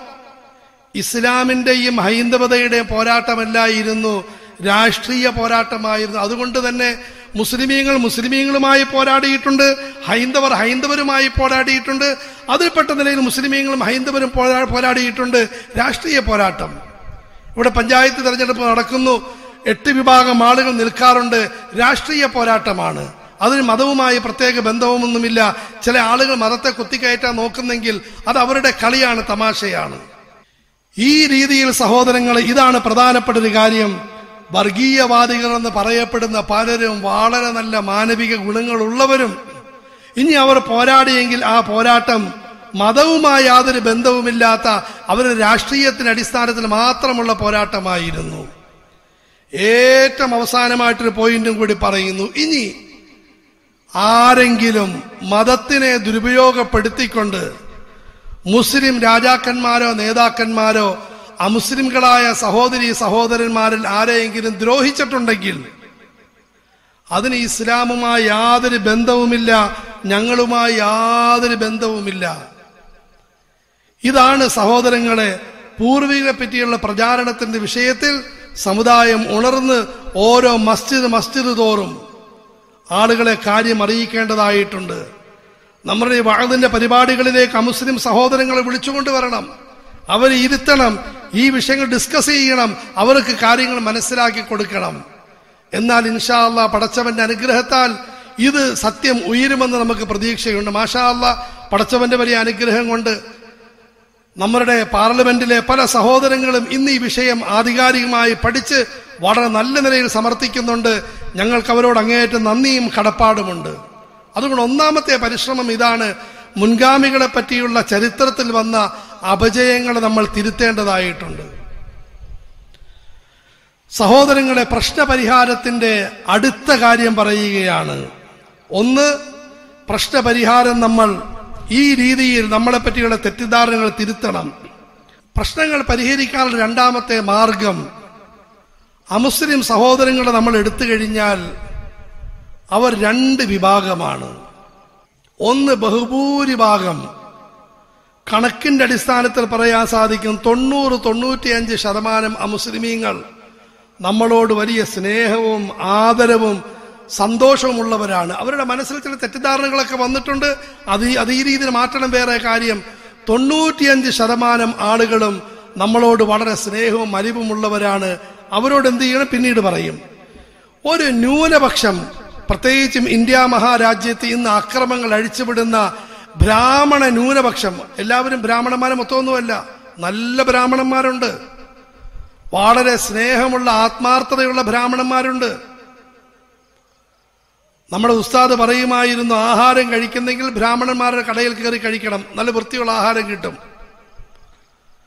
നല്ല അവർ നടത്തുന്ന ഒന്നാന്തരം ആശുപത്രികളുണ്ട്. വലിയ സ്നേഹവും കരുണയുള്ളവരാണ് പക്ഷേ ഇന്ന് ഇന്ദ്രപ്രസ്ഥത്തിൽ ഇരുന്ന് കാര്യങ്ങൾ നയിക്കുന്ന ഈ രാജ്യത്തിന്റെ മുഴുവൻ പിടികളും കയ്യിൽ പിടിച്ച ഒരു ന്യൂനാൽ ന്യൂനപക്ഷമുണ്ട്. അവർ ഈ രാജ്യത്തിന്റെ കഠിന ശത്രുക്കളാണ്. മുസ്ലിമീങ്ങളുടെ മാത്രമല്ല ക്രൈസ്തവരുടെ മാത്രമല്ല ഈ രാജ്യത്തിന്റെ കഠിന ശത്രുക്കളാണ്. അവരെ നമ്മൾ നേരിടണം. എങ്ങനെ നേരിടണം? ഒന്ന് ഈ രാജ്യത്തിന്റെ നിയമത്തിന് ഉള്ളിൽ നിന്നുകൊണ്ട് നേരിടണം. അതിനപ്പുറം പോകാൻ പറ്റത്തില്ല. വളരെ ശ്രദ്ധിക്കും സമുദായം വളരെ ശ്രദ്ധിക്കും ഈ രാജ്യത്തിന്റെ നിയമങ്ങൾ പരിപൂർണമായി പാലിച്ചുകൊണ്ട് റാലി നടത്താം രാജ്യത്തിന്റെ നിയമം പാലിക്കണം. പൊതുയോഗം നടത്താം രാജ്യത്തിന്റെ നിയമങ്ങൾ പാലിക്കണം. വാട്സപ്പിൽ കൂടി പ്രചാരണം നടത്താം രാജ്യ നിയമം പാലിക്കണം. തോന്നുന്നതെല്ലാം അടിച്ചു വിടുക പാടില്ല. കടുത്ത ശത്രുവാണെങ്കിലും പാടില്ല. അവരുമായിട്ടുള്ള എന്താണ് അവരുടെ സിമ്മുകൾ മാറ്റുക ഇത് മാറ്റുക അത് മാറ്റുക. പല ഇന്നത്തെ പ്രചാരണങ്ങളും ഒന്നാതന ഫേക്കാണ് ഇല്ലാത്ത കാര്യങ്ങളാണ്. യു പിയിൽ ശരിയാണ് വലിയ ദുരന്തം നടക്കുന്നുണ്ട്. പക്ഷേ നമ്മളിൽ പല സഹോദരങ്ങൾ വാട്സപ്പിൽ കൂടി അങ്ങോട്ടും ഇങ്ങോട്ടും എറിയുന്ന പല ചിത്രങ്ങൾക്കും വാർത്തകൾക്കും അടിസ്ഥാനവുമായി യാതൊരു ബന്ധവുമില്ല. ഞങ്ങൾ നിരന്തരം യു പിയുമായി ബന്ധപ്പെട്ടുകൊണ്ടിരിക്കുകയാണ്. പടച്ചവന്റെ അനുഗ്രഹത്താൽ അവിടെ സ്ഥിതി ശാന്തമായി കൊണ്ടിരിക്കുന്നു ജയിലിൽ പോയ പകുതിയോളം സഹോദരങ്ങളെ പുറത്തു കൊണ്ടുവന്നു കഴിഞ്ഞു. ബാക്കിയുള്ളവരെ പുറത്താക്കാനുള്ള പരിശ്രമങ്ങൾ നടന്നുകൊണ്ടിരിക്കുകയാണ്. വളരെ ശ്രദ്ധ വേണം. ചെറുപ്പക്കാർ എന്നല്ല സ്ത്രീകൾ പോലും അങ്ങോട്ടും ഇങ്ങോട്ടും വേണ്ടാത്ത കാര്യങ്ങൾ ന്യൂസിൽ അങ്ങോട്ടും ഇങ്ങോട്ടും എറിയുന്നുണ്ട്. കയ്യിൽ ചങ്ങല വീണാൽ അവനവനായിരിക്കും ഉത്തരവാദിത്വം ശരിക്കും മനസ്സിലാക്കണം. يا أيها الذين آمنوا إن جاءكم فاسق بنبأ فتبينوا أن تصيبوا قوما بجهالة فتصبحوا على ما فعلتم نادمين മുഅ്മിനീങ്ങളെ വല്ല വാർത്തകളും നിങ്ങൾക്ക് കിട്ടിയാൽ നിങ്ങൾ അതിനെപ്പറ്റി നന്നായിട്ട് അന്വേഷിക്കണം അല്ലാത്ത പക്ഷം നിങ്ങൾ നിരപരാധികളെ ആക്രമിക്കാനും അതിന്റെ പേരിൽ നിങ്ങൾ നാളെ സങ്കടത്തിലേക്ക് വീഴാനും സാധ്യതയുണ്ടെന്ന് പരിശുദ്ധ ഖുർആൻ. ഇവിടെ എന്റെ കൂട്ടുകാർ കൊണ്ടുവന്നെന്നറിയില്ല മനുഷ്യത്വം മരിച്ചില്ല എന്ന ചെറിയൊരു പുസ്തകമുണ്ട്. ഇന്ത്യയിൽ നാൽപ്പത്തിയേഴിൽ നടന്ന വർഗീയ കലാപങ്ങളുമായി ബന്ധപ്പെട്ട് അതിൽ സാക്ഷിയായ ഒരു മഹാപുരുഷൻ മൗലാന മുഹമ്മദ് മന്ദൂർ നുഹ്മാനിയുടെ നേർക്ക് നേരെയുള്ള അനുഭവങ്ങളാണ് ഇതിൽ എഴുതിയിരിക്കുന്നത്. അദ്ദേഹം പറഞ്ഞു ഞാൻ പള്ളിയുടെ തിണ്ണയിൽ ചാരിയിരിക്കുന്നു. ഒരു പെൺകുട്ടി പാഞ്ഞു പോകുന്നതായി കണ്ടു. ആ പെൺകുട്ടിയുടെ പുറകിൽ രണ്ട് ചെറുപ്പക്കാരും ഓടിക്കൊണ്ടിരിക്കുന്നു. ഞാൻ യുവാവായിരുന്നു. ഇറങ്ങി ഓടി ആ ചെറുപ്പക്കാരെ പോയി പിടിച്ചു. എന്താണ്? ഈ പെണ്ണ് മറ്റേ വർഗീയവാദികളുടെ നാട്ടിൽ നിന്ന് വരുന്ന പെണ്ണാണ്. അടിച്ചു കൊല്ലാൻ വേണ്ടിയാ. തൊട്ടുപോകരുത്. മുസ്ലിം പണ്ഡിതന്റെ ധർമ്മം. തൊട്ടുപോകരുത്. ഹ ഞങ്ങളെ അവിടെയുള്ള നേതാക്കന്മാരെ അടിക്കാൻ വേണ്ടി വിട്ടിരിക്കുക. തൊടാൻ പാടില്ല. തൊട്ടുപോകരുത്. ഞങ്ങൾ തൊടും. തൊട്ടാ നിങ്ങൾക്കെതിരായി ഞാൻ കോടതിയിൽ പോലീസിൽ കേസ് കൊടുക്കും കോടതിയിൽ വാദിക്കും. ആ ചെറുപ്പക്കാർ തിരിച്ചുപോയി. സമുദായത്തിൽ നേതാക്കന്മാർ വന്ന് മുസ്ലിയാരെ വഴക്കുണ്ടാക്കി. മുസ്ലിയാർക്ക് എന്ത് പറ്റി ഇങ്ങനെ? അദ്ദേഹം പറഞ്ഞു ഒന്ന് നിങ്ങൾ പറയുന്ന വാർത്ത ശരിയാണോ എന്നെനിക്ക് സംശയമുണ്ട്. ഞാനും കൂടി വരാം. അവിടെ പോയി അന്വേഷിക്കാം. നിങ്ങൾ നെടുമങ്ങാടിനെ പറ്റി പറയുന്നു. എനിക്കതിൽ ന്യായമായിട്ട് സംശയമുണ്ട് ഈ സംഭവം നടന്നോ എന്ന്. അവിടെ നമുക്ക് പോയി അന്വേഷിക്കാം. അവർ പറഞ്ഞു ഞങ്ങൾക്ക് അന്വേഷിക്കേണ്ട ആവശ്യമൊന്നുമില്ല. അദ്ദേഹം പറഞ്ഞു അവിടെ സംഭവം നടന്നെങ്കിൽ ഈ പെൺകുട്ടി ഇവിടെ എന്റെ പള്ളിയുടെ മുമ്പിൽ വെച്ച് നിങ്ങൾക്ക് തൊടാൻ അനുവാദമില്ല. നിങ്ങൾ നെടുമങ്ങാട്ട് പോയിട്ട് ആക്രമിക്കും ഓരോ സ്ഥലത്തെ പേര് പറഞ്ഞ് കേരളത്തിന്റെ സ്വസ്ഥതയല്ല കെടുത്തേണ്ടത് അവിടെ പോയിട്ട് ആക്രമിക്കുന്നു. അവന് തിരിച്ചുപോയി മറുപടിയൊന്നും കിട്ടില്ല എന്നിട്ട് ഇദ്ദേഹം ഒറ്റയ്ക്ക് നെടുമങ്ങാട്ടേക്ക് പോയി. അവിടെ ചെന്നപ്പോൾ അവിടെ ഇങ്ങനൊരു സംഭവമേ നടന്നിട്ടില്ല. അതുകൊണ്ട് വർഗീയ കലാപങ്ങൾ പ്രശ്നങ്ങളുമായി ബന്ധപ്പെട്ട വാർത്തകളിൽ പലതും തെറ്റായ വാർത്തയായിരിക്കും. നമ്മൾ വലിയ ധാർമ്മിക സേവനം എന്ന് പറഞ്ഞുകൊണ്ട് വാട്സപ്പിലൂടെ ഡകടകാന്ന് അടിച്ചുകൊണ്ടിരിക്കും. സഹോദരങ്ങൾ വളരെ ശ്രദ്ധിക്കണം. അതിൽ മൊലാനയുടെ ലേഖനമുണ്ട്. വളരെ എല്ലാവരും വായിക്കേണ്ടതാണ്. വർഗീയ കലാപം. വർഗീയ പ്രശ്നങ്ങൾ. ഇസ്ലാമിന്റെ കാഴ്ചപ്പാട് എന്ത് ഒന്ന് വർഗീയവാദികളെ നേരിട്ട് കണ്ടാൽ നിയമത്തിന്റെ ഉള്ളിൽ നിന്നുകൊണ്ട് അവരെ ശിക്ഷിക്കണം. അവർക്കെതിരായിട്ട് പോരാടണം. അലഹമില്ല ജമയത്തുലമാ ഹിന്ദ് കോടതിയിൽ കേസ് കൊടുത്തിരിക്കുന്ന പോരാട്ടം നടത്തുന്നു. താല്പര്യമുള്ളവർ അവരുമായി കൂടി. നിങ്ങൾ അവിടെ പോയി അവരും അവരോട് നിങ്ങൾ പോരാടി നിയമത്തിനുള്ളിൽ നിന്നുകൊണ്ട് രണ്ട് ആരുടെയെങ്കിലും പേര് പറഞ്ഞ് നിരപരാധികളായ ആളുകളെ ആക്രമിക്കുന്നത് ഇസ്ലാമിന്റെ കാഴ്ചപ്പാടിൽ ഹറാമാണ് ഹറാമാണ് പാപമാണ്. നെടുമങ്ങാട്ടെ കാര്യം പറഞ്ഞു. ഇവിടെ മണ്ണൂർ കോണത്ത് നിങ്ങൾ വടിയും ആളോട് അങ്ങോട്ടും കൂടെ പോരാടാൻ പോവുക. പാടില്ല അനുവാദമില്ല. അതുകൊണ്ട് ഒന്ന് നിയമത്തിന് ഉള്ളിൽ നിന്നുകൊണ്ട് പോരാടണം. നിയമത്തിനുള്ളിൽ നിന്നുകൊണ്ട് പോരാടണം. അതിന് ഏറ്റവും വലിയ ആവശ്യമാണ് എന്തെങ്കിലും പ്രശ്നങ്ങൾ വന്നാൽ പ്രിയപ്പെട്ട സഹോദരങ്ങളെ നമ്മൾ നേതൃത്വവുമായി ബന്ധപ്പെടും മഹലിന്റെ പ്രസിഡന്റ് സെക്രട്ടറി അവിടെയുള്ള ഉസ്താദ് കളവനായിരിക്കും കഴിവില്ലാത്തവരായിരിക്കും. പക്ഷെ നേതൃത്വം എന്ന് പറയുന്നൊരു സ്ഥാനം അള്ളാഹുർ കൊടുത്തിട്ടുണ്ട്. അതിന് വലിയൊരു ശക്തിയുണ്ട്. അതുകൊണ്ട് ഈ രണ്ട് കാര്യങ്ങൾ പാലിക്കണം. ഒന്ന് ശരിയായ അന്വേഷണം വേണം. രണ്ട് നേതൃത്വത്തെ അനുസരിക്കണം. നിയമത്തിന് ഉള്ളിൽ നിന്നുകൊണ്ട് നമ്മൾ പരിശ്രമിക്കണം. നിയമത്തിന് അപ്പുറത്ത് പോകാൻ അനുവാദമില്ല. അതുകൊണ്ട് ഈ ഒരു വിഭാഗത്തോട് ന്യൂന ന്യൂനപക്ഷമായ വിഭാഗത്തോട് നാം എല്ലാവരും ശക്തമായ നിലയിൽ പ്രതിഷേധിക്കണം. ഞാൻ ഈ പറയുന്ന കാര്യം മനസ്സിലാക്കാൻ അള്ളാഹു തോഫീഖ് നൽകുമാറാകട്ടെ. ഒന്നിന് ഞാൻ കടുപ്പം കൊടുക്കുമ്പോൾ മറ്റൊന്നിന് കടുപ്പം കുറഞ്ഞു പോകുന്ന പേടിയുണ്ട്. ഇവർ രാജ്യത്തിന്റെ ശത്രുക്കളാണ്. ഈ നിയമങ്ങൾ കൊണ്ടുവരുന്നവർ ഇങ്ങനെയുള്ള പ്രശ്നങ്ങൾ കാണിക്കുന്നവർ രാജ്യത്തിന്റെ ശത്രുക്കളാണ്. രാജ്യ നിയമത്തിനുള്ളിൽ നിന്നുകൊണ്ട് ഇവർക്കെതിരായി ശക്തമായി പോരാടണം. പ്ലസ് അങ്ങേയറ്റം സൂക്ഷ്മത മുറുകെ പിടിക്കുകയും വേണം. അതിൽ വളരെയധികം ശ്രദ്ധിക്കണം. പ്രത്യേകിച്ച് വാട്സപ്പ് കൈകാര്യം ചെയ്യുന്നവർ ഫേസ്ബുക്ക് കൈകാര്യം ചെയ്യുന്നവർ തികഞ്ഞ ഉത്തരവാദിത്ത ബോധത്തോടെ ഈ കാര്യങ്ങൾ നിർവഹിക്കണം. അറിവില്ലാത്തതാണ് മിണ്ടണ്ട. അറിവുള്ളതാണെങ്കിൽ ആ കാര്യങ്ങൾ ചെയ്യൻ. ഇതാണ് സഹോദരങ്ങളെ രണ്ടാമതായി നമ്മൾ ചെയ്യേണ്ട കാര്യം ഒന്ന് ചരിത്രപരമായി വന്ന അബദ്ധങ്ങളെ തിരുത്തി. രണ്ട് ഈ രാജ്യത്തിന്റെ ശത്രുക്കളായ ആളുകളോട് നമ്മൾ വളരെ കടുത്ത സമീപനം നിയമ നിയമത്തിനുള്ളിൽ നിന്നുകൊണ്ട് സ്വീകരിക്കും. മൂന്നാമത്തെ കാര്യം അള്ളാഹു മനസ്സിലാക്കാനും ഉൾക്കൊള്ളാനും തൗഫീഖ് നൽകുമാറാകട്ടെ. لقد كان في يوسف وإخوته آيات للسائلين. إذ قالوا ليوسف وأخوه وحب إلى أبينا منا ونحن عصبة. إن أبانا لفي ضلال മുബീൻ.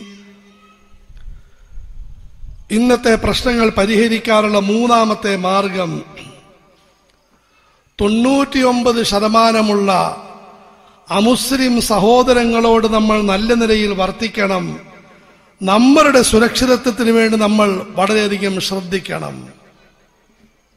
അതിനെന്ത് ചെയ്യണം? ഖുർആൻ പറയുന്നു രണ്ട് കാര്യങ്ങൾ ചെയ്യണം. ഒന്ന് പടച്ചവനുമായി നമ്മളുടെ ബന്ധം ശരിയാക്കണം. അപ്പൊ നിങ്ങൾ ചോദിക്കും ശരിയല്ലേ? തീർച്ചയായിട്ടും നമുക്ക് ബന്ധമുണ്ട്. ആ ബന്ധം കൂടുതൽ നന്നാക്കണം. പരിശുദ്ധ ഖുർആാനിൽ സൂറത്തിൽ ബക്രയിലും മറ്റും അള്ളാഹു താല പ്രശ്നങ്ങൾ ഉണ്ടാകുമ്പോഴുള്ള പരിഹാരത്തെ പറ്റി പറയുന്നുണ്ട്. വാക്കീമു സ്വലാത്ത വാ തുസക്കാ നമസ്കാരം നിലനിർത്തുക സക്കാത്ത് കൊടുക്കുക. എന്താണ് നമസ്കാരം? ഒരു വലിയ പരിശ്രമത്തിന്റെ ഭാഗമാണ് നിസ്കാരം എന്ന് പറയുന്നത്. ഓരോ പ്രദേശങ്ങളിലും മസ്ജിദുകൾ വേണം. ആ മസ്ജിദുകൾ ലളിതവും സൗകര്യങ്ങളുള്ളതുമായിരിക്കണം.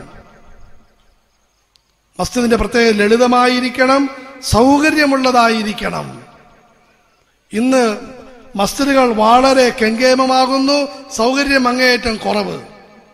ജുമാ നമസ്കാരം കഴിഞ്ഞ ആളുകൾ സുന്നത്ത് നിസ്കരിച്ചു കൊണ്ടിരിക്കുകയാണ് മുഅദ്ദിൻ ദിക്കറും ദുവായും പോലും ചെയ്യാതെ അദ്ദേഹം എ സി ഓഫ് ചെയ്യാൻ വേണ്ടി കറങ്ങി നടന്നുകൊണ്ടിരിക്കുന്നു. എന്തൊരു രോഗമായാക്കിയത് ആളുകൾ സുന്നത്ത് നിസ്കരിച്ചുകൊണ്ടിരിക്കുകയാണ്. ഇദ്ദേഹം എന്തോ കമ്മിറ്റിയെ പേടിച്ചുകൊണ്ട് ഓടി നടന്ന് എ സി എല്ലാം ഓഫാക്കി ആൾക്കാരെ മൂഷിപ്പിച്ച് പള്ളിയിൽ നിന്ന് പുറത്തിറക്കുന്നു. ഇന്ന് പള്ളികളിൽ ഭയങ്കര ആർഭാടം ഒരു സൗകര്യവുമില്ല. മണിമാളിക പോലുള്ള മസ്ജിദ് മൂത്രപ്പര ഒരെണ്ണം ബാത്റൂം ഉണ്ടെങ്കിലായി അതാകട്ടെ എട്ട് താഴുകൊണ്ട് പൂട്ടിയിടും. മക്കത്തും മദീനത്തും ഇഷ്ടംപോലെ ഉംറ യാത്ര ഹജ്ജ് യാത്രയൊക്കെ നടക്കുന്നു. അവിടെയുള്ള പലതും ഈ നാട്ടിലേക്ക് ഇറക്കുമതി ചെയ്യുന്നു. പക്ഷെ ഇത് മാത്രം ഇറക്കുമതി ചെയ്യുന്നില്ല. ഒരു മസ്ജിദിൽ നൂറ് പേർക്ക് നിസ്കരിക്കാൻ സൗകര്യമുണ്ടെങ്കിൽ അത്രയും ആളുകൾക്ക് ഊഴം ഊഴമായിട്ടെങ്കിലും ബാത്റൂമിൽ പോകാനും കുളിക്കാനും വധു ചെയ്യാനും എല്ലാ സൗകര്യം വേണം. നമസ്കാരത്തിന്റെ കാര്യത്തിൽപ്പെട്ടതാണ് അക്കീമുസ്സലായെ പറ്റി പറയുന്നത്. മസ്ജിദുകൾ ലളിതമായിരിക്കണം വിശാല സൗകര്യം വേണം. മസ്ജിദുകൾ മുസ്ലിമീങ്ങൾക്ക് മാത്രമുള്ളതല്ല. നിങ്ങൾക്ക് മനസ്സിലാകാത്തൊരു കാര്യം പറയുകയാണ് പടച്ചോ മനസ്സിലാക്കാൻ തോഫീക്കൽക്കുമാറാകട്ടെ മസ്ജിദ് മുഴുവൻ മനുഷ്യർക്കുമുള്ളതാണ്. ഹയ്യാല സ്വലാ. സഹോദരങ്ങളെ മുസ്ലിം അമുസ്ലിം വ്യത്യാസമില്ല. സഹോദരങ്ങളെ നമസ്കാരത്തിന്റെ ഗുണമുണ്ടാക്കിയെടുക്കാൻ വരും ഹയ്യാലൽ ഫലാഹ് സഹോദരങ്ങളെ ഇരുലോക വിജയത്തിന്റെ ശുഭ്രമായ മാർഗത്തിലേക്ക് നിങ്ങൾ വരിൻ. മഹാന്മാരായ നബിമാരുടെ പ്രത്യേകത പരിശുദ്ധ ഖുർആൻ പറയുന്നു. ഒന്ന് അവർ മസ്ജിദ് സ്ഥാപിക്കുമായിരുന്നു. രണ്ട് മസ്ജിദിലേക്ക് ആളുകളെ സ്വാഗതം ചെയ്യുമായിരുന്നു.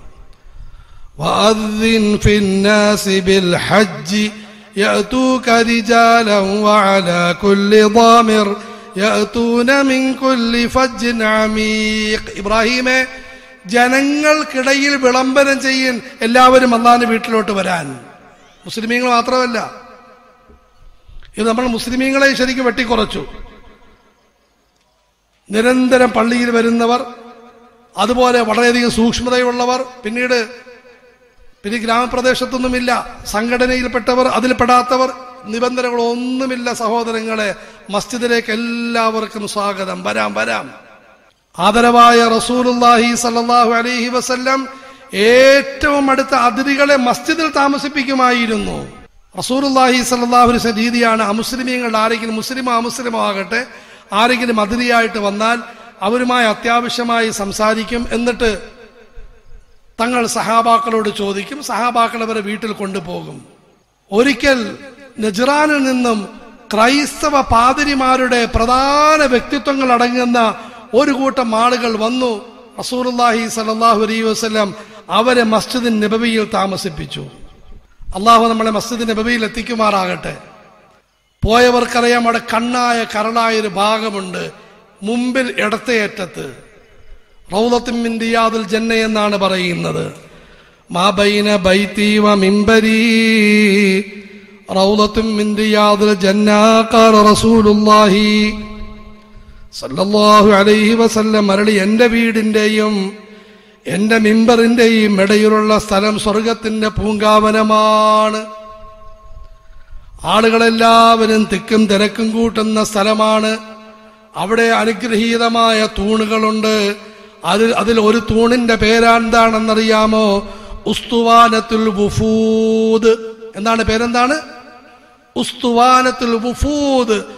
അമുസ്ലിം സംഘങ്ങൾ വരുമ്പോൾ അവരെ സ്വീകരിച്ചിരുത്തി ഹബീബ് സംസാരിച്ചിരുന്ന സ്ഥലം. യാ റഹ്മാൻ. പള്ളി പണിയാൻ വേണ്ടി അമുസ്ലിമീങ്ങൾ എല്ലാവർക്കും പള്ളിയിൽ കയറാം പള്ളി പണിത് കഴിഞ്ഞാലും ആരും കയറാൻ പാടില്ല. പിന്നെ അടച്ചു പൂട്ടും. അതുകൊണ്ട് പേടിയാണ്. ഇപ്പൊ പള്ളി പുതുക്കി പണിയണമെന്ന് അഭിപ്രായം പറയാൻ പേടിയാ. ആരും അങ്ങോട്ട് കയറുന്ന ഇഷ്ടമല്ല ആളുകൾക്ക്. ഉസ്തുവാനത്തുൽ ജന്നയുടെ ഭാഗമാണ്.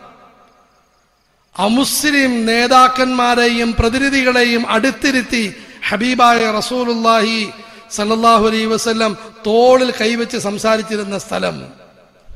ഒരു അമുസ്ലിം നേതാവ് ചാലപ്പള്ളിയിൽ വന്നു. ഞാൻ അദ്ദേഹത്തിന് അവിടെ കയറ്റിയിരുത്തി. അദ്ദേഹം വല്ലാതെ വിറച്ചുകൊണ്ടിരിക്കുന്നു. പരിസരത്ത് ആളുകളാകട്ടെ എന്നെ വല്ലാതെ ഉരുണ്ടു നോക്കിക്കൊണ്ട് പോകുന്നു. ഞാൻ അദ്ദേഹത്തോട് തോളിൽ കൈവച്ചുകൊണ്ട് നായകന്റെ ആ ഒരു സുന്നത്ത് പാലിക്കാൻ ആഗ്രഹിക്കുന്നു. ഞാൻ അദ്ദേഹത്തെ തോളിൽ കൈവച്ചുകൊണ്ട് സംസാരിച്ചു. സഹോദര തെരഞ്ഞെടുപ്പിന് മുമ്പ് നിങ്ങൾ ഇന്ന രാഷ്ട്രീയ കക്ഷിക്കാരനാണ്. നിങ്ങൾ തെരഞ്ഞെടുക്കപ്പെട്ടു കഴിഞ്ഞാൽ ഈ ചാലക്കമ്പോളത്തിന് മുഴുവൻ പ്രതിനിധിയാണ് നിങ്ങൾ എല്ലാവരോടും സ്നേഹത്തിന് സമത്വത്തിന് കഴിയണം. അദ്ദേഹം കരഞ്ഞുകൊണ്ട് തയ്യാറെന്ന് പറയുകയുണ്ടായി. സഹോദരങ്ങളെ മസ്ജിദ് അതിലേക്ക് ആളുകളെ ക്ഷണിക്കണ നബിമാർ ക്ഷണിക്കുമായിരുന്നു. രണ്ട് മൂന്ന് ആത്മാർത്ഥമായി ക്ഷണിച്ചാൽ സ്വാഭാവികമായിട്ട് മസ്ജിദിൽ ആളുകൾ വരും. വന്നു കഴിഞ്ഞാൽ മസ്ജിദ് അഴുക്കാകും അവിടെ നബിമാരുടെ മൂന്നാമത്തെ പ്രവർത്തനം മസ്ജിദ് ശുദ്ധീകരിക്കും മസ്ജിദ് വൃത്തിയാക്കും വാഹിദന ഇല ഇബ്രാഹിമ വ ഇസ്മാഈല أن طهر بيتي للطائفين والعاكفين والركع السجود ഇബ്രാഹീമിനോടും ഇസ്മായിലിനോടും നാം വലിയ ഗൗരവത്തിൽ കൽപ്പിച്ചു. എന്റെ വീട് നിങ്ങൾ സ്വദേശികൾക്കും വിദേശികൾക്കും വേണ്ടി എപ്പോഴും വൃത്തിയാക്കിയിടണം പരിശുദ്ധ ഖുർആൻ. മത്സരിക്കുമായിരുന്നു നബിമാർ പള്ളി മസ്ജിദിൽ ഹറാം വൃത്തിയാക്കിയിടുമായിരുന്നു. അതുകൊണ്ട് സഹോദരങ്ങൾ ഇതാണ് ഇക്കാമത്തു സ്വലായെ പറ്റി പറയുന്നു. അടുത്തതായി നമസ്കാരം നിലനിർത്തുക എന്നതുകൊണ്ടുള്ള ഉദ്ദേശം ഈ നാട്ടിലുള്ള മുഴുവൻ പ്രായപൂർത്തിയായ ആണുങ്ങളും ജമാഅത്തായി മസ്ജിദിൽ തന്നെ വന്ന് നിസ്കരിക്കണം. അതിന് ഒരു നല്ല ബാങ്ക് കൊടുക്കുന്ന ആൾ വേണം നല്ല ഉസ്താദുമാര് വേണം അവർക്ക് നല്ല ശമ്പളം കൊടുക്കണം.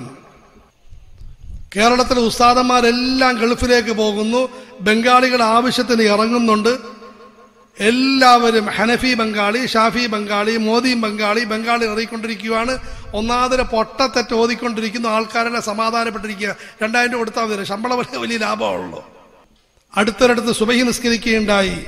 തൗഹീദിനെ ഷിർക്കായിട്ട് പാവപ്പെട്ട മനുഷ്യൻ ഓതി. നിസ്കാരം കഴിഞ്ഞ് എഴുന്നേറ്റ് എന്ന് പറഞ്ഞു. സമുദായത്തിന്റെ കുറ്റമാണ്. തൗഹീദിനെ ഷിർക്കായിട്ട് ഓതിയിരിക്കുകയാണ്. പാവത്തുങ്ങൾക്കറിയില്ല ഭയങ്കര രസമായിട്ട് ഓതുന്നത് ആൾക്കാരെ തലകുലുക്കിയല്ല കേട്ടോണ്ടിരിക്കുക. ഓതിയത് അങ്ങേറ്റ തെറ്റ്.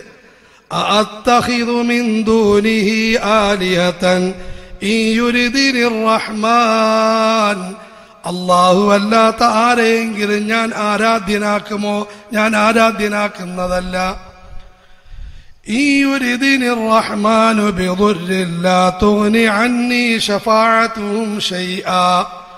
പടച്ചവൻ എനിക്ക് വല്ല ബുദ്ധിമുട്ടും ഉദ്ദേശിച്ചാൽ പടച്ചവനല്ലാത്ത ഈ ദൈവങ്ങൾ എനിക്ക് യാതൊരു സഹായവും ചെയ്യുന്നതല്ല. ഇതിൽ അള്ളാഹുവിന് പാവപ്പെട്ട അടിമ ലാ തൂനിയുടെ ലാമ് വിട്ടിട്ട് മതി. അള്ളാഹു എനിക്ക് വല്ല ബുദ്ധിമുട്ടും ഉദ്ദേശിച്ചാൽ ഈ വിഗ്രഹങ്ങൾ എന്നെ സഹായിക്കുമെന്ന് ഓതി വെച്ചു. ആൾക്കാരെല്ലാം കൂളായിട്ട് നിസ്കരിക്കുക. സഹോദരങ്ങളെ നല്ല ഉസ്താദുമാരെ നിർത്തണം. അവർക്ക് മാന്യമായ ശമ്പളം കൊടുക്കണം. അവരുടെ പ്രധാനപ്പെട്ട ജോലി നിസ്കാരമാകണം. ഇന്ന് കമ്മിറ്റിക്കാർക്ക് ഇങ്ങനെ ചോദിക്കുന്നുണ്ട് ഉസ്താമാർക്ക് ഇത്ര ശമ്പളം എന്തിനാണ് വേണ്ടത്? നിസ്കാരം ഫറുത് ആ ഫറുത് നിസ്കാരം കൊണ്ട് മുമ്പിൽ കയറി നിസ്കി എത്ര എന്താ കൊടുക്കാനുള്ളത്? അതിനാ കൊടുക്കാനുള്ള സഹോദരങ്ങളെ. നല്ല നില അദ്ദേഹം നിസ്കരിക്കണം പൊതു ചെയ്ത് നേരത്തെ പള്ളിയിൽ വന്നിരിക്കണം. റാഹത്തായിട്ട് ഓതണം. ജനങ്ങളുടെ നമസ്കാരങ്ങളെല്ലാം ശ്രദ്ധിക്കണം. ജനങ്ങൾക്ക് ആവശ്യമായ ഉപദേശങ്ങളും നിർദ്ദേശങ്ങളും നൽകണം. അവിടെ കൂടിയിരുന്ന് ആലോചിക്കണം പരസ്പരം കൂടിയിരുന്ന് ആലോചിക്കണം. നാടിന്റെ പ്രശ്നങ്ങൾ ചർച്ച ചെയ്യണം. അതിന് പ്രാപ്തിയുള്ള നിലയിൽ നിലയിൽ കഴിവുള്ള ഉസ്താദന്മാർ വേണം. അതിനവർക്ക് ന്യായമായ ശമ്പളം കൊടുക്കും മുഅദ്ദിന് ന്യായമായ ശമ്പളം കൊടുക്കും നാനൂറ്റി നാൽപ്പത് ജോലി പറഞ്ഞിട്ട് എന്റെ അടുത്ത് പറഞ്ഞു എത്ര തൊള്ളായിരത്തി അമ്പത് രൂപ ശമ്പളം കൊടുക്കാമെന്ന് പറഞ്ഞു. ഞാൻ പറഞ്ഞു താങ്കൾ എനിക്ക് ബാങ്ക് കൊടുത്താൽ മതി എന്ന് പറഞ്ഞു ഒരാളിവിടെ അത്യാവശ്യം ഒരു ഉസാദ് മോദി വേണം മോദി വേണം. എന്തൊക്കെ ജോലിയുണ്ട്? തൊള്ളായിരത്തി അമ്പത് കാര്യങ്ങൾ നാനൂറ്റി അമ്പത് കാര്യങ്ങൾ പറഞ്ഞു. ശമ്പളം എത്ര കൊടുക്കും. തൊള്ളായിരത്തി അമ്പത് രൂപ കൊടുക്കും ബാക്കി അവിടെ നിന്ന് ഇവിടുന്ന് എല്ലാം കിട്ടുമല്ലോ. സമുദായമാണ് ഈ അനാചാരങ്ങൾ പഠിപ്പിക്കുന്നത്. സമുദായമാണ് ഈ വേണ്ടാത്ത കാര്യങ്ങളൊക്കെ പഠിപ്പിക്കുന്നത്. മുഅദ്ദിനോട് പറയും നിങ്ങൾ ഇരുപത്തിനാല് മണിക്കൂറും പള്ളി വേണം തസ്ബീഹും പിടിച്ച് നടക്കണം ദിക്കറും ദുവായും ചെയ്ത് നടക്കണം.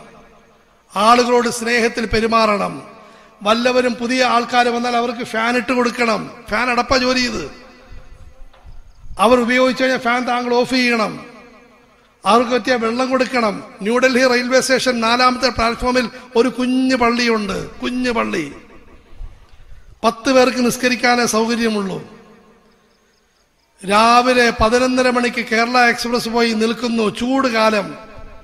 വെള്ളം കുടിക്കാൻ ആളുകൾ അങ്ങോട്ടും ഇങ്ങോട്ടും ഓട്ടവും ചാട്ടവും ഒന്നും തള്ളും.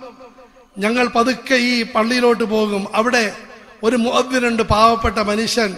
അദ്ദേഹം കിണറ്റിൽ നിന്ന് വെള്ളം അടിച്ചടിച്ചെടുത്ത് വെള്ളവും പിടിച്ചുകൊണ്ട് നിൽക്കുന്നു ആളുകളെ കുടിപ്പിക്കാൻ. ഞങ്ങൾ കണ്ണുകൊണ്ട് കാണുന്നു ഹിന്ദുക്കളെ കുടിപ്പിക്കുന്നു ക്രിസ്ത്യ സിഖുകാരെ കുടിപ്പിക്കുന്നു. അവർ പള്ളിയിലോട്ട് എത്തി നോക്കും. "ബാ, ഇവിടെ ഒന്ന് മൂത്രമൊഴിക്കാൻ നിങ്ങൾക്ക്. ഇവിടെ ഒന്ന് മൂത്രമൊഴിക്കും. നിങ്ങൾ ഇവിടെ കുറച്ചു നേരം ഇരിക്കും. ഞങ്ങൾ നേരിട്ട് കണ്ടു ഹിന്ദുക്കൾ കൈയും കൂപ്പി നിൽക്കുന്നു. സിഖുകാർ സുജൂതിൽ തന്നെ കിടക്കുന്നു. ഹാദാഹു അൽ മുഅദ്ദിൻ. ഇതാണ് മോദി. ഇതാണ് മുഅദ്ദിൻ. പള്ളിയിൽ ജനങ്ങളെ സ്വീകരിക്കുന്നു. ഞങ്ങൾ ശരിക്കും ഭരിക്കുകയും ചെയ്യും. അതെനിക്ക് ഇഷ്ടമാണ് ഞങ്ങൾ ശരിക്കും ഭരിക്കും. എപ്പോഴാ പോകുന്നത്? വൈകുന്നേരം നാല് മണിക്ക്. ആ നാല് മണിക്ക് ദൈവത്തിലോട്ട് പോയിക്കോണം. പള്ളി രാത്രി കിടക്കാൻ പറ്റത്തില്ല. പിന്നെ നിസ്കാരത്തിന് പത്ത് മിനിറ്റ് മുമ്പ് നിങ്ങൾ ഉറക്കത്തിൽ എഴുന്നേറ്റിരിക്കണം. ഞങ്ങളോട് നല്ല കടുപ്പമാണ്. എനിക്ക് വളരെ ഇഷ്ടം അദ്ദേഹത്തിനോട്. ജീവിച്ചിരിക്കുന്നതിന് അള്ളാഹു ദീർഘായുസ് കൊടുക്കുമാറാകട്ടെ. മരിച്ചുപോയെങ്കിൽ റഹ്മാനായ റബ്ബ് അദ്ദേഹത്തിന്റെ കബറിന്റെ മേൽ അനുഗ്രഹത്തിന്റെ മാരി പെയ്യിപ്പിക്കുമാറാകട്ടെ. ഞാൻ അദ്ദേഹത്തിന് കൈപിടിച്ചു മുത്തുമായിരുന്നു. വലിയ സ്നേഹം കാണിക്കുമായിരുന്നു. കാരണം യഥാർത്ഥ മുഅദ്ദിൻ. ഒരിക്കലും അദ്ദേഹത്തിനെ പോ- പുറത്തു പോകുന്നതായിട്ട് കണ്ടിട്ടില്ല. അവിടെ തന്നെ എന്തെങ്കിലും ജോലി ചെയ്തുകൊണ്ടിരിക്കും. കുറച്ചു നേരം മുസാഫ് നേരെ വെക്കും. കുറച്ച് നേരം അത് നേരെ ഇത് നേരെ വെക്കും. നമ്മളെ പള്ളികൾക്ക് മുസാഫിനെ കോലം ഒന്ന് ചിന്തിച്ചു നോക്കിക്കുക പള്ളിയിലെ ഖുർആൻ ഷരീഫ് ഏറ്റവും കാണാൻ കൊള്ളാത്ത സ്ഥലം പള്ളിയിലെ മുസാഫിന്റെ കോലം. ഒന്ന് വടക്കോട്ട് ഒന്ന് ഇടക്കോട്ട് ഒന്ന് തെക്കോട്ട് പടിഞ്ഞാറോട്ട് അലുക്കുരുത്തായിട്ട് കിടക്കും. ഒരു പള്ളിയിൽ ഫാനും കൂടി ഇട്ടപ്പോൾ അവിടെ എല്ലാം കൂടി പറക്കാൻ തുടങ്ങി. പഴയ മുസാഹിഫിന്റെ പേപ്പറുകളെല്ലാം കൂടി പറന്ന് മൂക്കിൽ കയറി തുമ്മി റെഡിയായി. പള്ളിയുടെ കോലമാണ് സമുദായം കാണിക്കുന്നത്. നിങ്ങളെ കുറ്റപ്പെടുത്തുന്ന നമ്മൾ അവസ്ഥയ്ക്ക് മാറ്റം വരുത്തണം. ന്യൂസിലാൻഡിൽ വലിയ അക്രമമുണ്ടായി. ഒരൊറ്റയടിക്കിപ്പോ ആ നാടിന്റെ അവസ്ഥ മാറി. അറിയാമോ എന്താണെന്ന്? അവിടെയുള്ള മുഴുവൻ ആളുകളോടും പറഞ്ഞ് നിങ്ങൾക്ക് നിങ്ങൾ പള്ളിയിൽ വരും എന്താ കാണിക്കുന്നത് കാണേ. ന്യായമായിട്ടും അമുസ്ലിമീങ്ങൾക്ക് സംശയമുണ്ട്. നമ്മുടെ പള്ളിയിൽ ആൾക്കാർക്കെതിരായിട്ടുള്ള മുദ്രാവാക്യം വിളിക്കും. അള്ളാഹു അക്ബർ അള്ളാഹു അക്ബർ എടുക്കടാവടി എടുക്കടാവടി അഷദു അല്ലാ ഇലാഹ വെക്കടാവടി വെക്കടാവടി. ഹയ്യാലസലാ കൊന്നേ പറ്റൂ കൊന്നേ പറ്റൂ. ഹയ്യാൽ ഫലാഹ് പശുവിനെ കിട്ടിയാൽ വളരെ നല്ലത്. ആൾക്കാർ അർത്ഥം വെച്ചോണ്ടിരിക്കുക മൗലാന സയ്യിദ് അബുൽ ഹസൻ അലി നബി റഹ്മത്തുള്ളാഹി അവർ പറയുന്നു ഞാൻ ഹർദുയിൽ നിന്നും ലക്നൌവിലോട്ട് വരികയാണ്. എന്റെ കൂട്ടത്തിൽ ദീനിന്റെ പ്രവർത്തനം നടത്തുന്ന സഹോദരങ്ങളുമുണ്ട്. നിസ്കരിക്കാൻ സമയമായപ്പോൾ ഞങ്ങൾ ട്രെയിനിൽ ചെറിയ നിലയിൽ ബാങ്ക് കൊടുത്ത് ജമാഅത്തായി നിസ്കരിച്ചു. ഒരു പട്ടാള ഓഫീസർ അവിടെ ഇരിപ്പുണ്ടായിരുന്നു. കുറച്ചല്ല അറിവുള്ളവരാണ് പട്ടാള ഓഫീസർ. അദ്ദേഹം ഞങ്ങളുടെ നിസ്കാരം സാഹൂതം ശ്രദ്ധിച്ച് നിസ്കരിച്ചു കഴിഞ്ഞപ്പോൾ പറയും മോലാന ഒരു കാര്യം ചോദിക്കുന്നത് ഈ അക്ബർ ചക്രവർത്തിയോട് ഇത്ര സ്നേഹം നിസ്കാരത്തിൽ ആദ്യം അവസാനം വരെയും അല്ലാഹു അക്ബറാണ് അക്ബറാണ് നിങ്ങൾ നിങ്ങൾ എന്തിനാ പറഞ്ഞോണ്ട് ഇത്ര സ്നേഹം അയാളോട്? സഹോദരങ്ങളെ അത്ഭുതകരമായ കാര്യങ്ങൾ ഇസ്ലാമിനെ പറ്റി അമുസ്ലിമീങ്ങൾ പറയുന്നത് കേൾക്കാൻ സാധ്യത നെഞ്ചൊന്ന് തുറന്നു നോക്കി അവർ പറയും.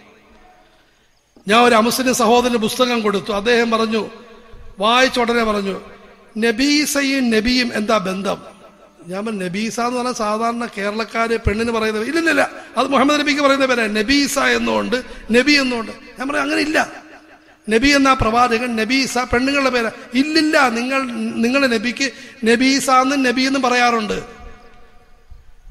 ഞാൻ അദ്ദേഹത്തിന് കൊടുത്ത് നിങ്ങൾ വായിച്ചു വായിച്ചു നോക്കിയിട്ട് നിങ്ങൾ ആ നബീസ എന്ന് കാണിച്ചേ നോക്കിയപ്പോൾ നബി സല്ലല്ലാഹു അലൈ വസ്ലം ആ സാ ഇട്ടിരിക്കുന്നതിനാണ് അതേ നബീസ എന്ന് പറഞ്ഞുകൊണ്ടിരിക്കുന്നത്. ദ നബീസ അത് നബി നബീസായിട്ട് നബിക്ക് എന്താ ബന്ധമെന്നാ ചോദിക്കുന്നത്? പാവത്തിങ്ങൾ അറിയില്ല സഹോദരങ്ങളെ. നമ്മൾ വലിയ ക്രൂരന്മാരാണ് അക്രമികളാണിത്.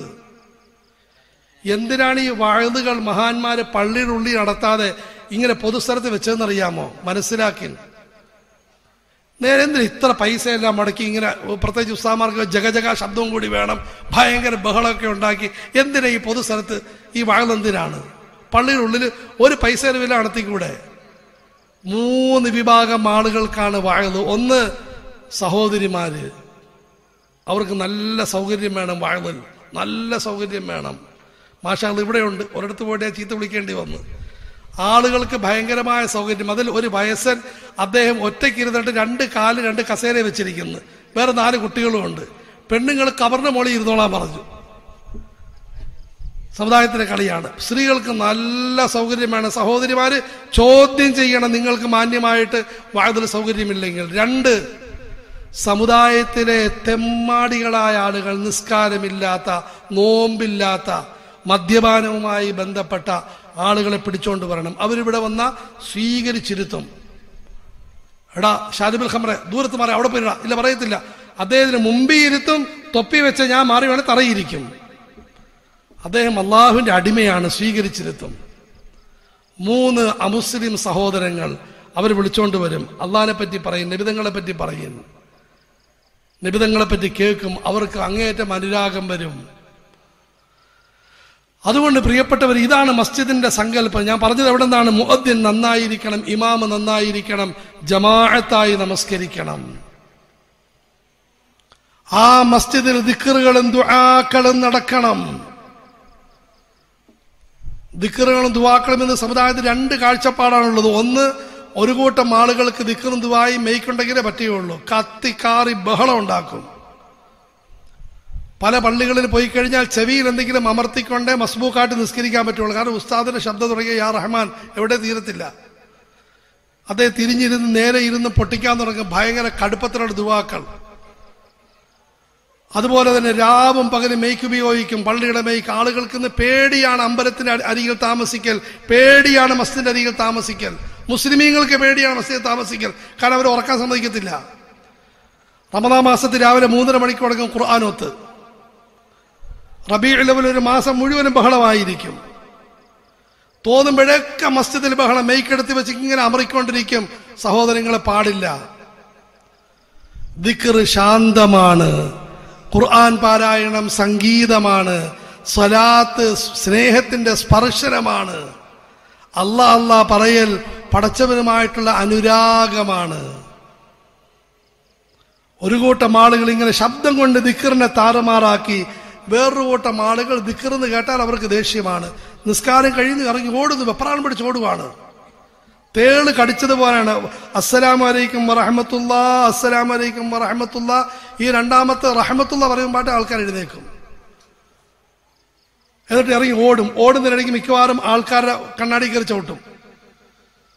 ഒരു സഹോദരൻ മുമ്പിൽ നിന്ന് ഇറങ്ങി പോവുക. ശരിക്കും മസല മനസ്സിലാക്കണം. വെപ്രാളത്തി ഓടേണ്ട ആൾക്കാർ മൂലയ്ക്ക് എവിടെയും പോയി നിസ്കരിക്കും. മുമ്പിൽ നിന്ന് വെപ്രാർത്തി ഓടാൻ പാടില്ല. റസൂലുള്ളാഹി സലഹു തടഞ്ഞിരിക്കുന്നു. നിസ്കരിക്കാൻ വേണ്ടി ആളുകളെ കവച്ചു വെച്ച് വരൽ ഹറാമാണ്. അതുപോലെ തിരിച്ച് കവച്ചു വെച്ച് പോകലും പാപമാണ്.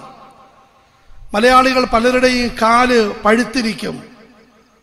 ഒരു സഹോദരന്റെ തള്ളവരിൽ ഒരാൾ ഇങ്ങനെ ചാടി ചവിട്ടുകയുണ്ടായി. അദ്ദേഹം കിടന്ന് കോഴി അറുക്കപ്പെട്ടത് കിടന്ന് പിടയ്ക്കുകയുണ്ടായി. എന്നിട്ട് മാപ്പാക്കാൻ പറഞ്ഞ് തടയിട്ടങ്ങ് പോവുക.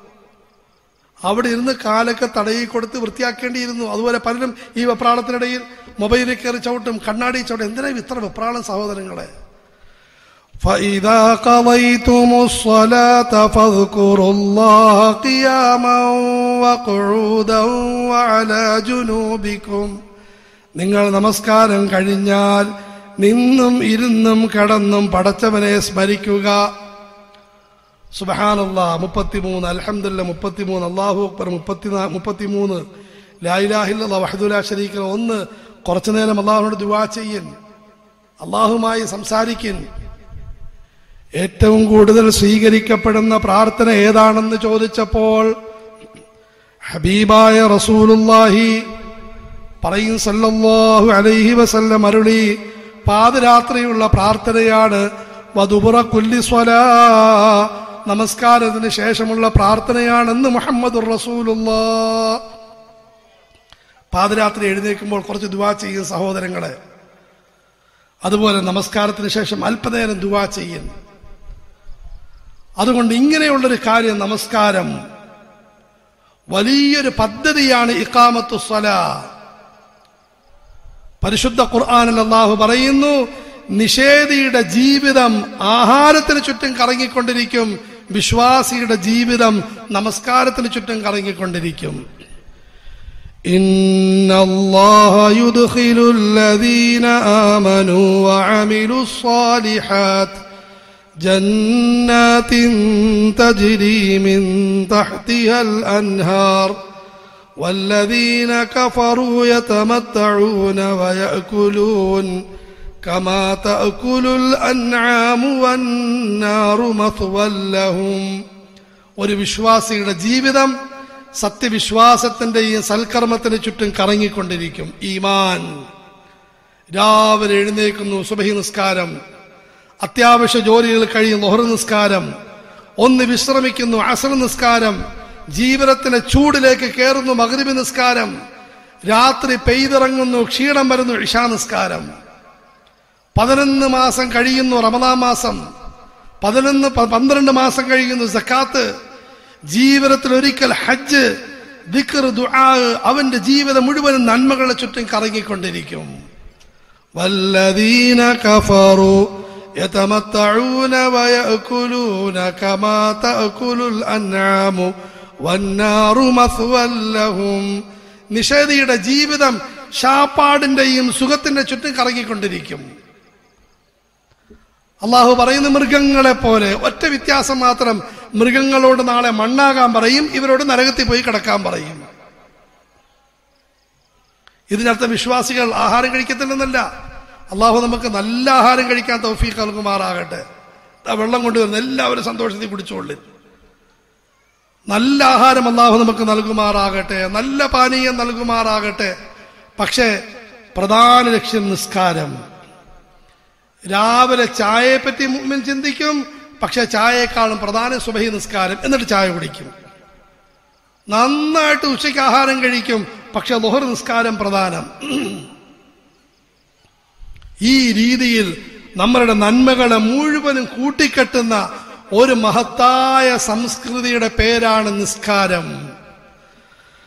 وأقيموا الصلاة وآتوا الزكاة അവസാനത്തെ കാര്യം എണ്ണിയ പറയുന്നത് ഒന്ന് തെറ്റിദ്ധാരണകൾ മാറ്റാൻ പരിശ്രമിക്കണം രണ്ട് കടുത്ത നിഷേധികളെ നിയമത്തിന് ഉള്ളിൽ നിന്നുകൊണ്ട് പാഠം പഠിപ്പിക്കാൻ പരിശ്രമിക്കണം മൂന്ന്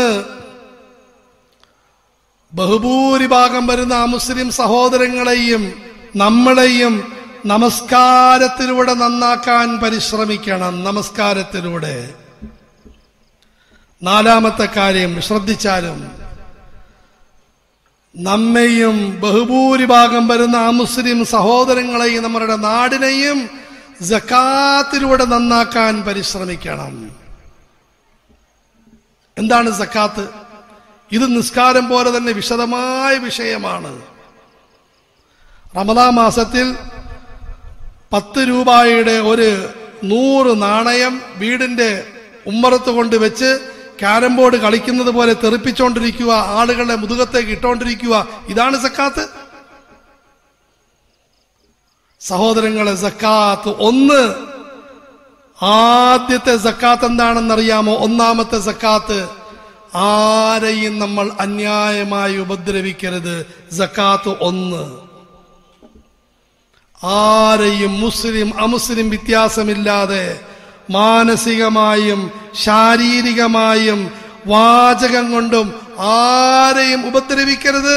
ഒന്നാമത്തെ സക്കാത്ത് ഇമാം ബുഖാരി പറയുന്നു.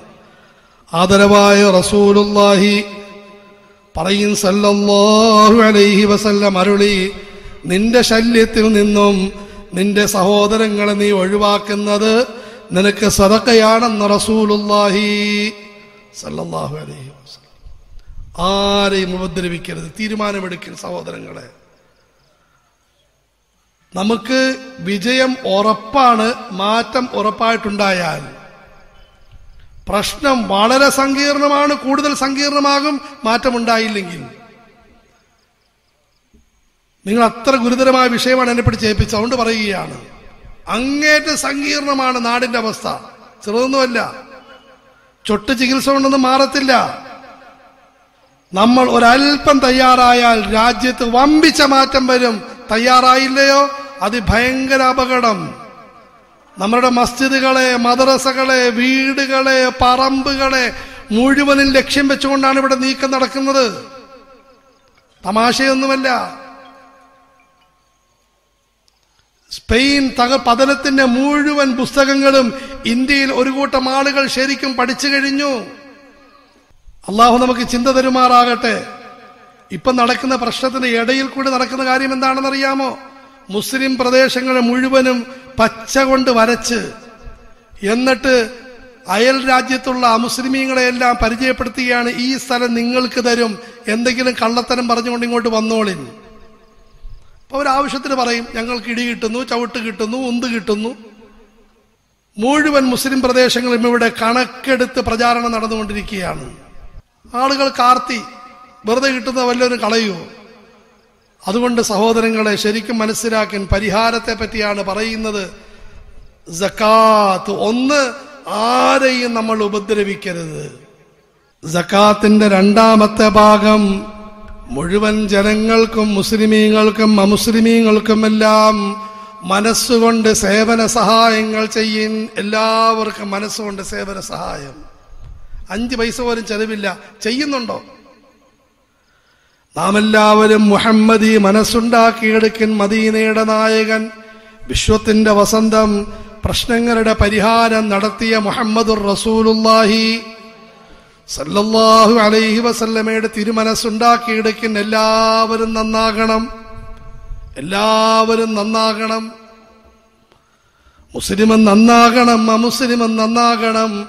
ഈ രാജ്യം മുഴുവനും നന്നാകണം ലോകം മുഴുവനും ഗുണം പിടിക്കണമെന്ന ചിന്ത ഉണ്ടാക്കിയെടുക്കിൻ ജക്കാത്ത് മൂന്ന്. നമ്മൾ നാവ് കൊണ്ട് സേവന സഹായങ്ങൾ ചെയ്യും. നാവ് കൊണ്ട് സേവന സഹായങ്ങൾ. നല്ല വാക്ക് പറയിൻ വഴി പറഞ്ഞു കൊടുക്കിൻ മുസ്ലിം അമുസ്ലിം സഹോദരങ്ങളോട് നല്ല ഉപദേശങ്ങൾ നടത്തിൻ. മഹാരാഷ്ട്രയിലെ വമ്പിച്ച മാറ്റത്തെപ്പറ്റി നമ്മളെല്ലാവരും അത്ഭുതപ്പെടുന്നു. പക്ഷേ മാറ്റത്തിന്റെ അടിസ്ഥാന കാര്യം പറഞ്ഞു തരട്ടെ. ഇതുപോലുള്ള കൊച്ചു മഹല്ലുകളിലെ അടിയിലുള്ള പരിശ്രമം അടിയിലുള്ള പരിശ്രമം. ഔറംഗാബാദിൽ അവിടെ മുസ്ലിം അമുസ്ലിം വ്യത്യാസമില്ലാതെ നമ്മളുടെ നാടിനെയും നശിപ്പിച്ചുകൊണ്ടിരിക്കുന്ന മയക്കുമരുന്നിനെതിരായിട്ട് മുസ്ലിം കുടുംബം അവർ നിരന്തരം പരിശ്രമിച്ചു. അമുസ്ലിമീങ്ങളുടെ ഇടയിൽ വമ്പിച്ച സ്വീകാര്യതയുണ്ടായി. സഹോദരങ്ങൾ നമ്മളെ വാട്സപ്പുകൾ നമ്മളുടെ സൗകര്യങ്ങൾ ഉപയോഗിച്ച് നമ്മൾ ജനങ്ങൾക്ക് സേവനങ്ങൾ ചെയ്യുന്നു സഹായം ചെയ്യുന്നു. ഇവിടെ ഇടയ്ക്കിടയ്ക്ക് എന്തെങ്കിലും ചെറിയ പരിപാടികൾ സംഘടിപ്പിക്കും രോഗത്തെ പറ്റിയുള്ള വിശദീകരണം സംഘടിപ്പിക്കൻ ആളുകളെല്ലാം കൂട്ടിക്കൊണ്ടുവരിൻ.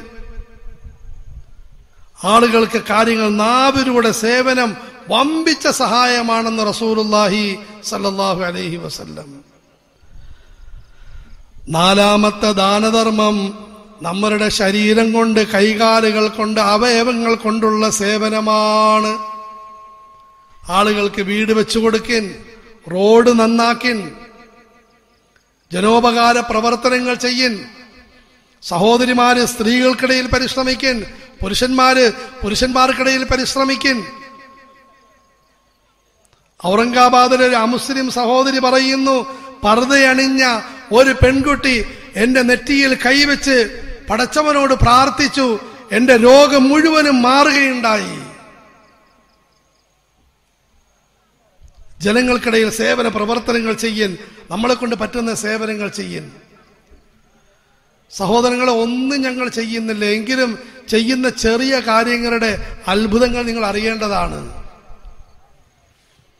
ഓച്ചിറയിൽ കേരളത്തിൽ എവിടെയും നടക്കാത്ത ഒരു അത്ഭുതം ഇന്നലെ നടന്നു. ഓച്ചിറ ക്ഷേത്രത്തിന്റെ ചെയർമാൻ അദ്ദേഹം പൗരത്വ ഭേദഗതി നിയമത്തിനെതിരിൽ രംഗത്ത് വരികയും അതിന്റെ കമ്മിറ്റി അദ്ദേഹം വിളിച്ചു കൂട്ടി അദ്ദേഹം ചെയർമാനായ റാലിയും അതുപോലെ സമ്മേളനവും നടന്നു. ഓച്ചറ ക്ഷേത്രത്തിന്റെ ചെയർമാൻ. അദ്ദേഹത്തിന്റെ മനസ്സിന് ശുദ്ധിയാണ്. എങ്കിലും ഞങ്ങൾ ചെയ്ത ചെറിയ പ്രവർത്തനം നിങ്ങളൊന്ന് കേൾക്കുന്ന സഹോദരങ്ങളെ. വെള്ളിയാഴ്ച രാവിലെ മുന്നൂറ് രൂപയ്ക്ക് കുറച്ച് പാൽ മേടിക്കും. കുറച്ച് പഞ്ചസാരയും അതിനാവശ്യമായ തേയിലയൊക്കെ മേടിക്കും. കുറച്ച് ബിസ്ക്കറ്റ് മേടിക്കും. ആകെ അഞ്ഞൂറ് രൂപ.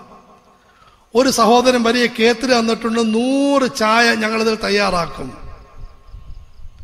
ഈ കുട്ടികളെ നിങ്ങൾ മുമ്പിരിക്കുന്നത് ഇവർ അലഹമില്ല ആ ചായം എടുത്തുകൊണ്ട് നടക്കും. ആശുപത്രിയിലേക്കാണ് പോകുന്നത്. അവരോട് പറഞ്ഞിട്ടുണ്ട് ക്ഷേത്രത്തിന്റെ പരിസരത്ത് സാധുക്കളുണ്ടെങ്കിൽ അവർക്കും ചായ കൊടുക്കണം.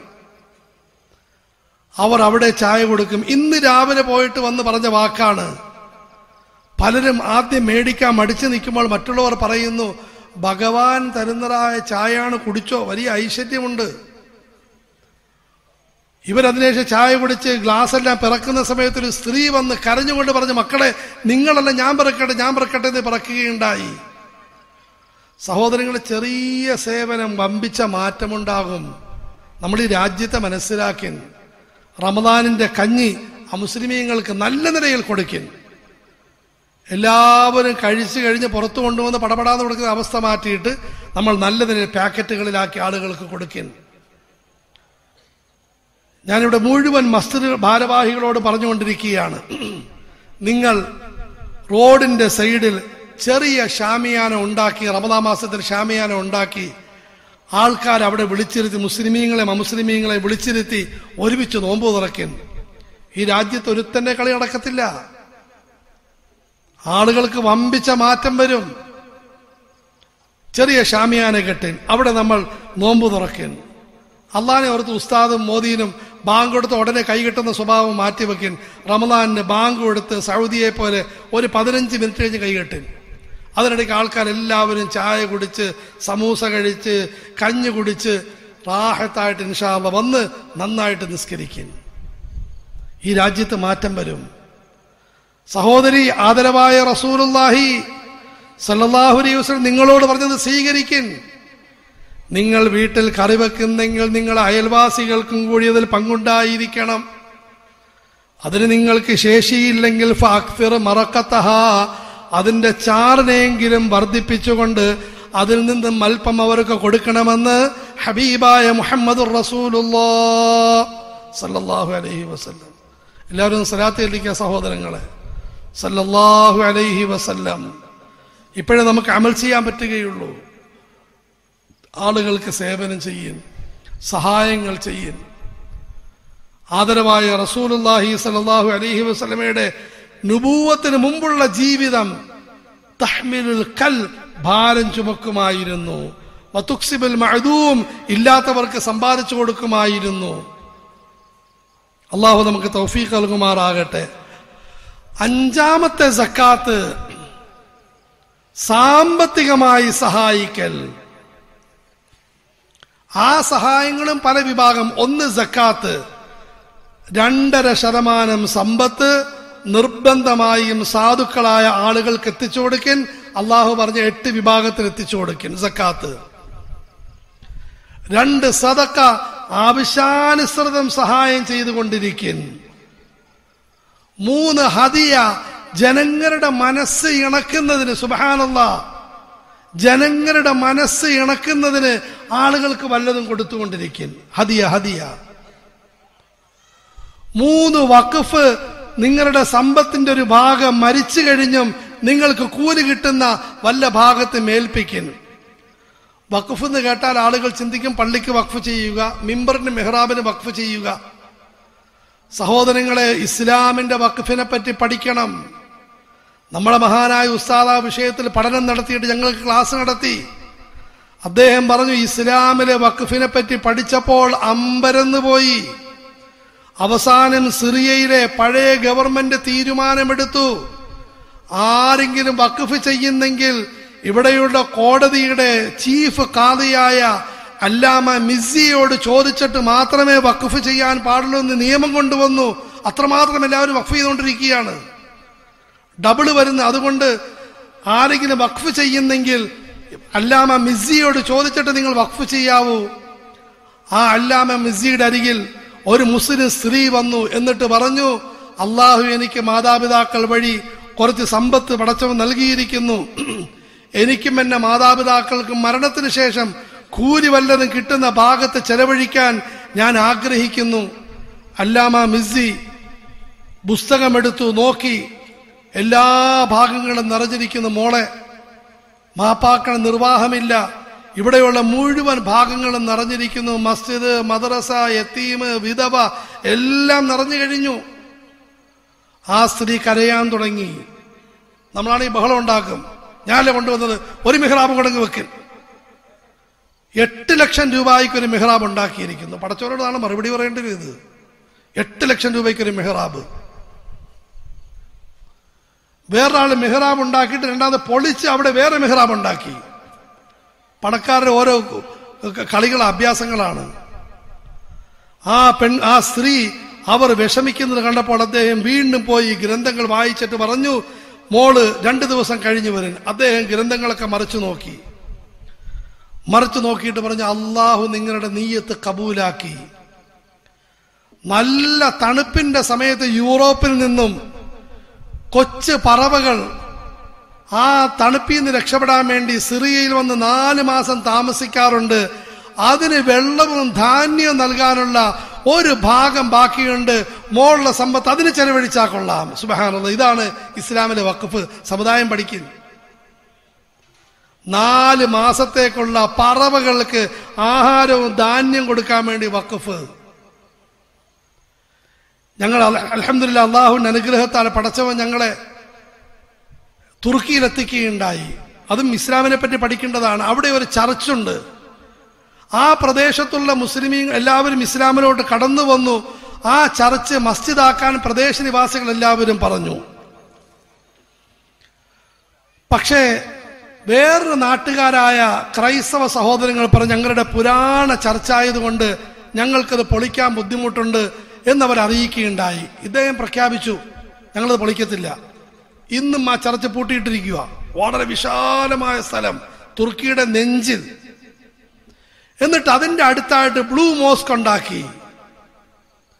നീല പള്ളി എന്ന പേരിൽ ഒരു ഒന്നാം തരം പള്ളി ഉണ്ടാക്കി പറയാൻ പോകുന്ന കാര്യം ആ പള്ളി പണിത ആളുകൾ വഖഫിന്റെ സമയത്ത് എഴുതി വെച്ചു ഇതിന്റെ സമ്പത്തിന്റെ ഇത്ര ഭാഗം ഈ മസ്ജിദ് കാണാൻ വരുന്ന അമുസ്ലിമീങ്ങൾക്ക് ഇസ്ലാമിക രചനകളും ആഹാരവും വെള്ളവും ചായയും കൊടുക്കാൻ വേണ്ടിയുള്ളതാണ്.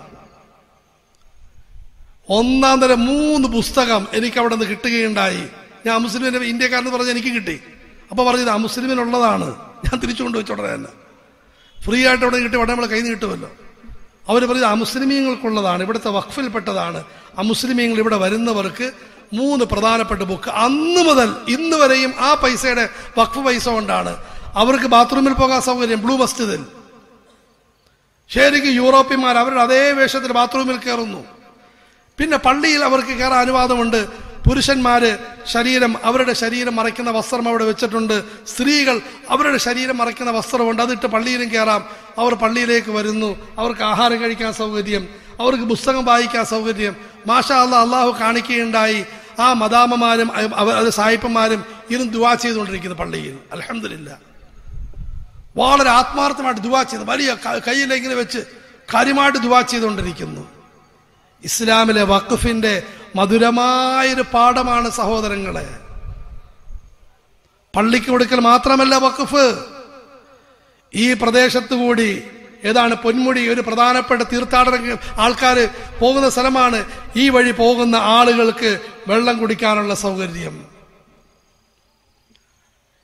വാഹനത്തിന് വാഹനം നന്നായിട്ടിട്ട് അത് കഴുകാൻ വേണ്ടിയുള്ള സൗകര്യം.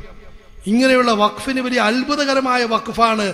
നാല് മാസം യൂറോപ്പിൽ നിന്ന് വരുന്ന പാവപ്പെട്ട മൈനകൾക്കും തത്തകൾക്കും കുരുവികൾക്കും വെള്ളവും ധാന്യം കൊടുക്കാൻ വേണ്ടി വഖഫ്. എന്റെ പ്രിയപ്പെട്ട സമുദായമേ ഇതിലോട്ട് മടങ്ങി വരൻ. വാക്കീമുസ്വല തവാ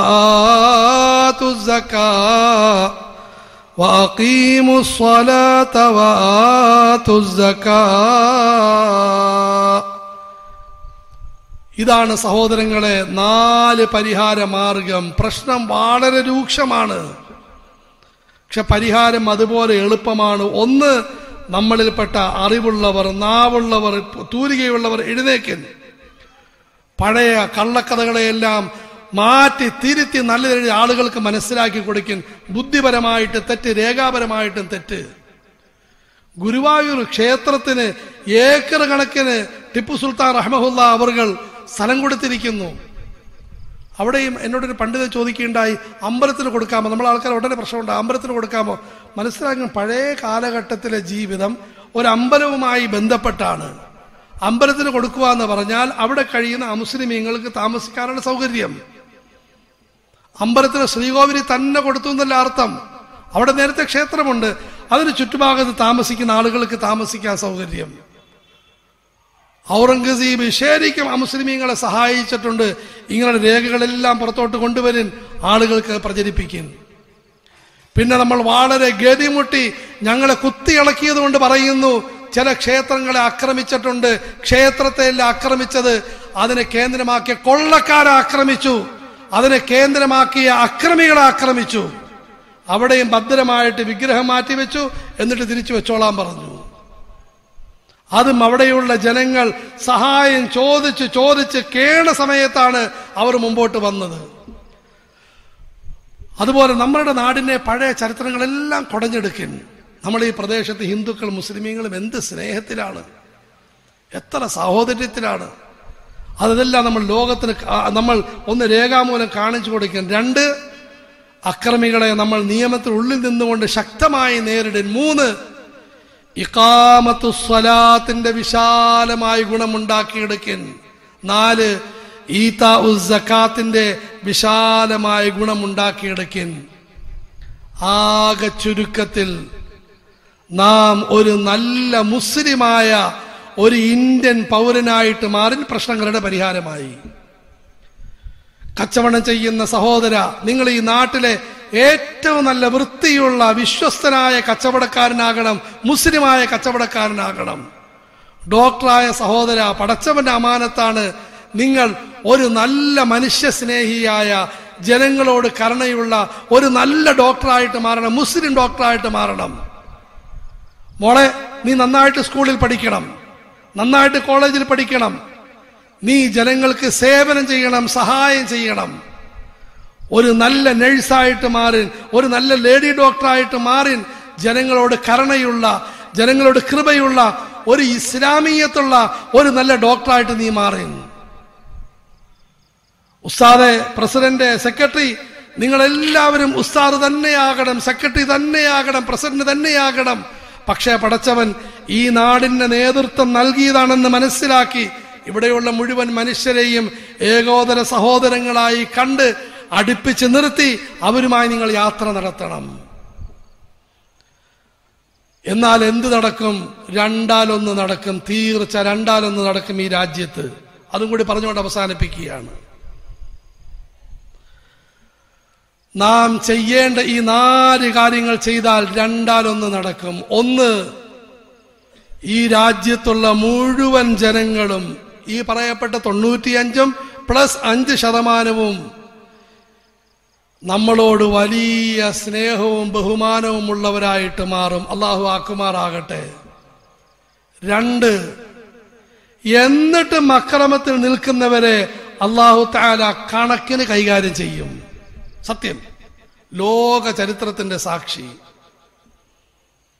ഒന്നെങ്കിൽ എല്ലാവരും നല്ല അവസ്ഥയിലാകും. വളരെ നല്ല അവസ്ഥയിലാകും. ഇന്ത്യ അതിന്റെ കൃത്യം വളരെ ഉയർന്ന ക്ലൈമാക്സിലെത്തി എത്തിയിരിക്കുകയാണ്. എല്ലാവരും മനസ്സിലാക്കണം അള്ളാഹു എന്നെയും നിങ്ങളെയും അത്ഭുതകരമായ ഒരു സമയത്താണ് ജീവിപ്പിച്ചിരിക്കുന്നത്.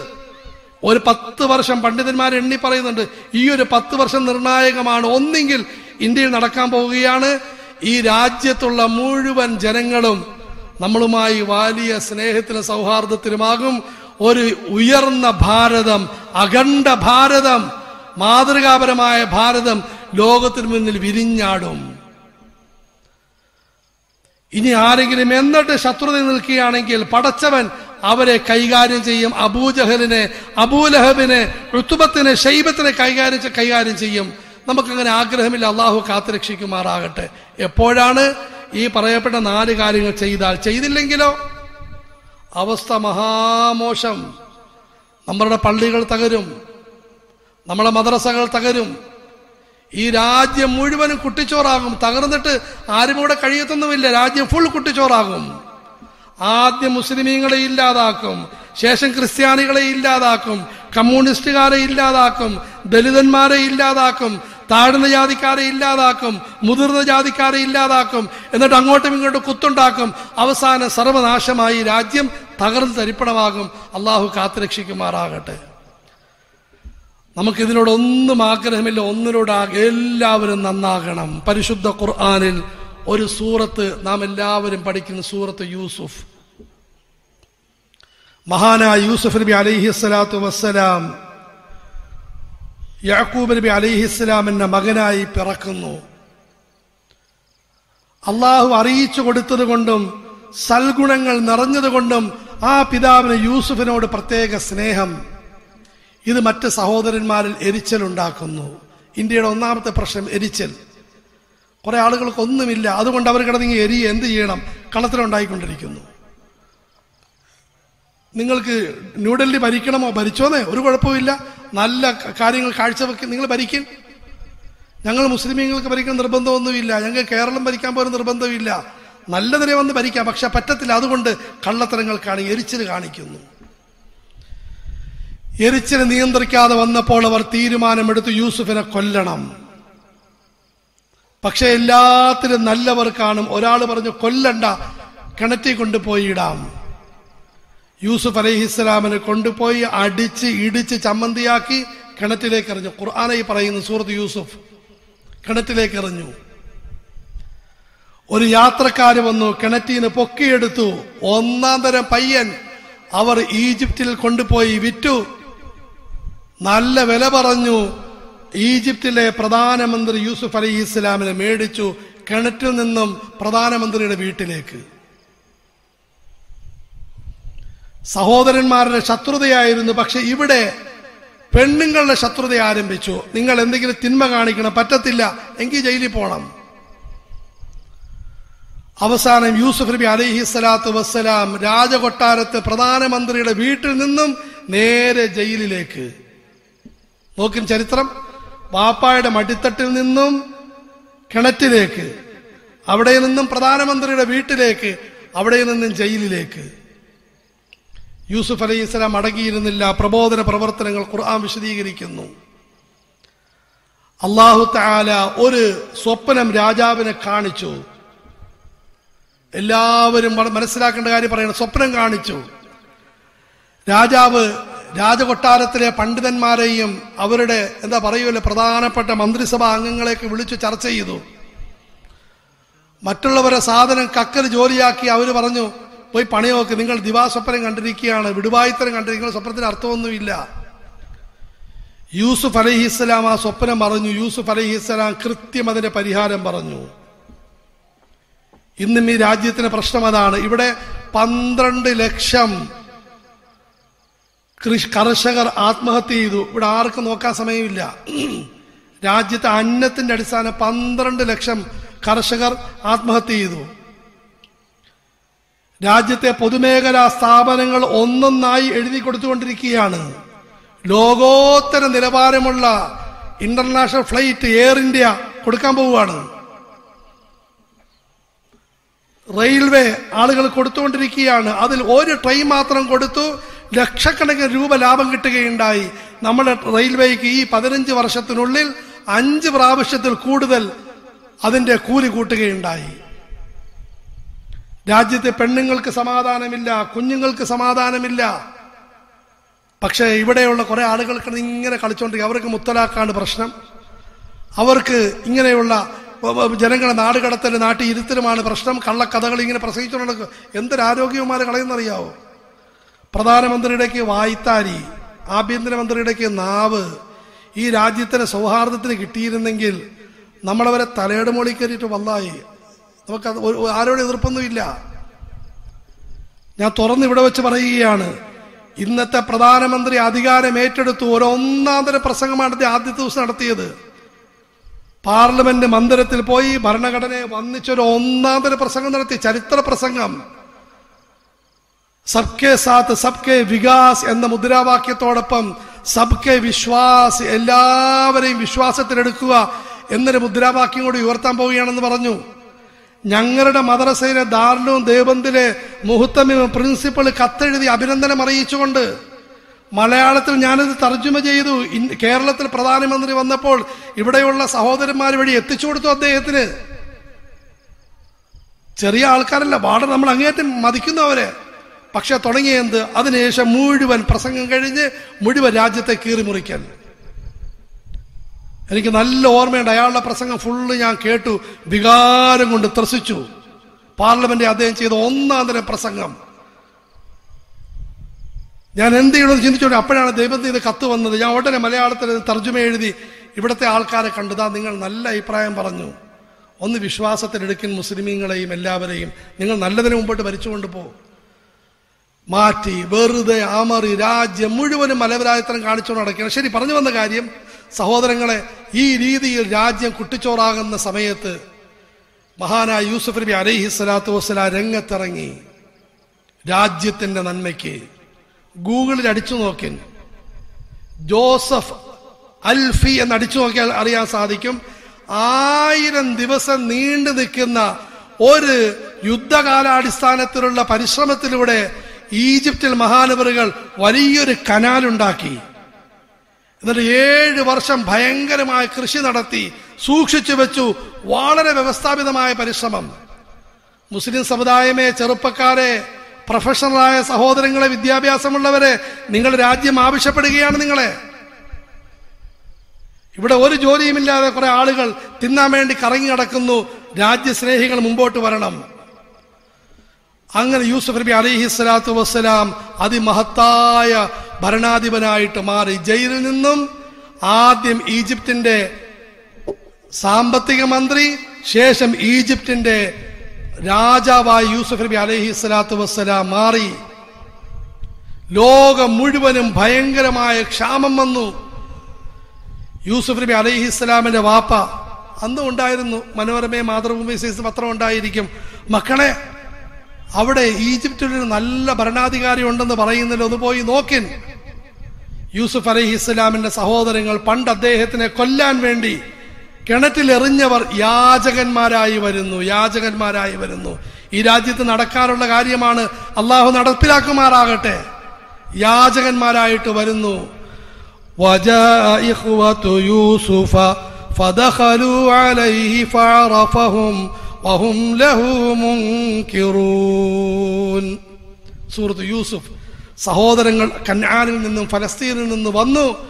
യൂസുഫിന് മനസ്സിലായി. മൂത്ത ജ്യേഷ്ഠൻ രണ്ടാമൻ മൂന്നാമൻ എന്റെ ഉടുപ്പ് കീറിയവൻ എന്റെ കാൽ തല്ലി ഒടിച്ചവൻ എല്ലാം മനസ്സിലായി. ഒന്നും മറക്കത്തൊന്നുമില്ല. അവർക്ക് മനസ്സിലായില്ല. സ്വീകരിച്ചു. അവർക്ക് ആഹാരം കൊടുത്തു. വിശേഷം ചോദിച്ചു എന്തുണ്ട്? എവിടെന്നാ?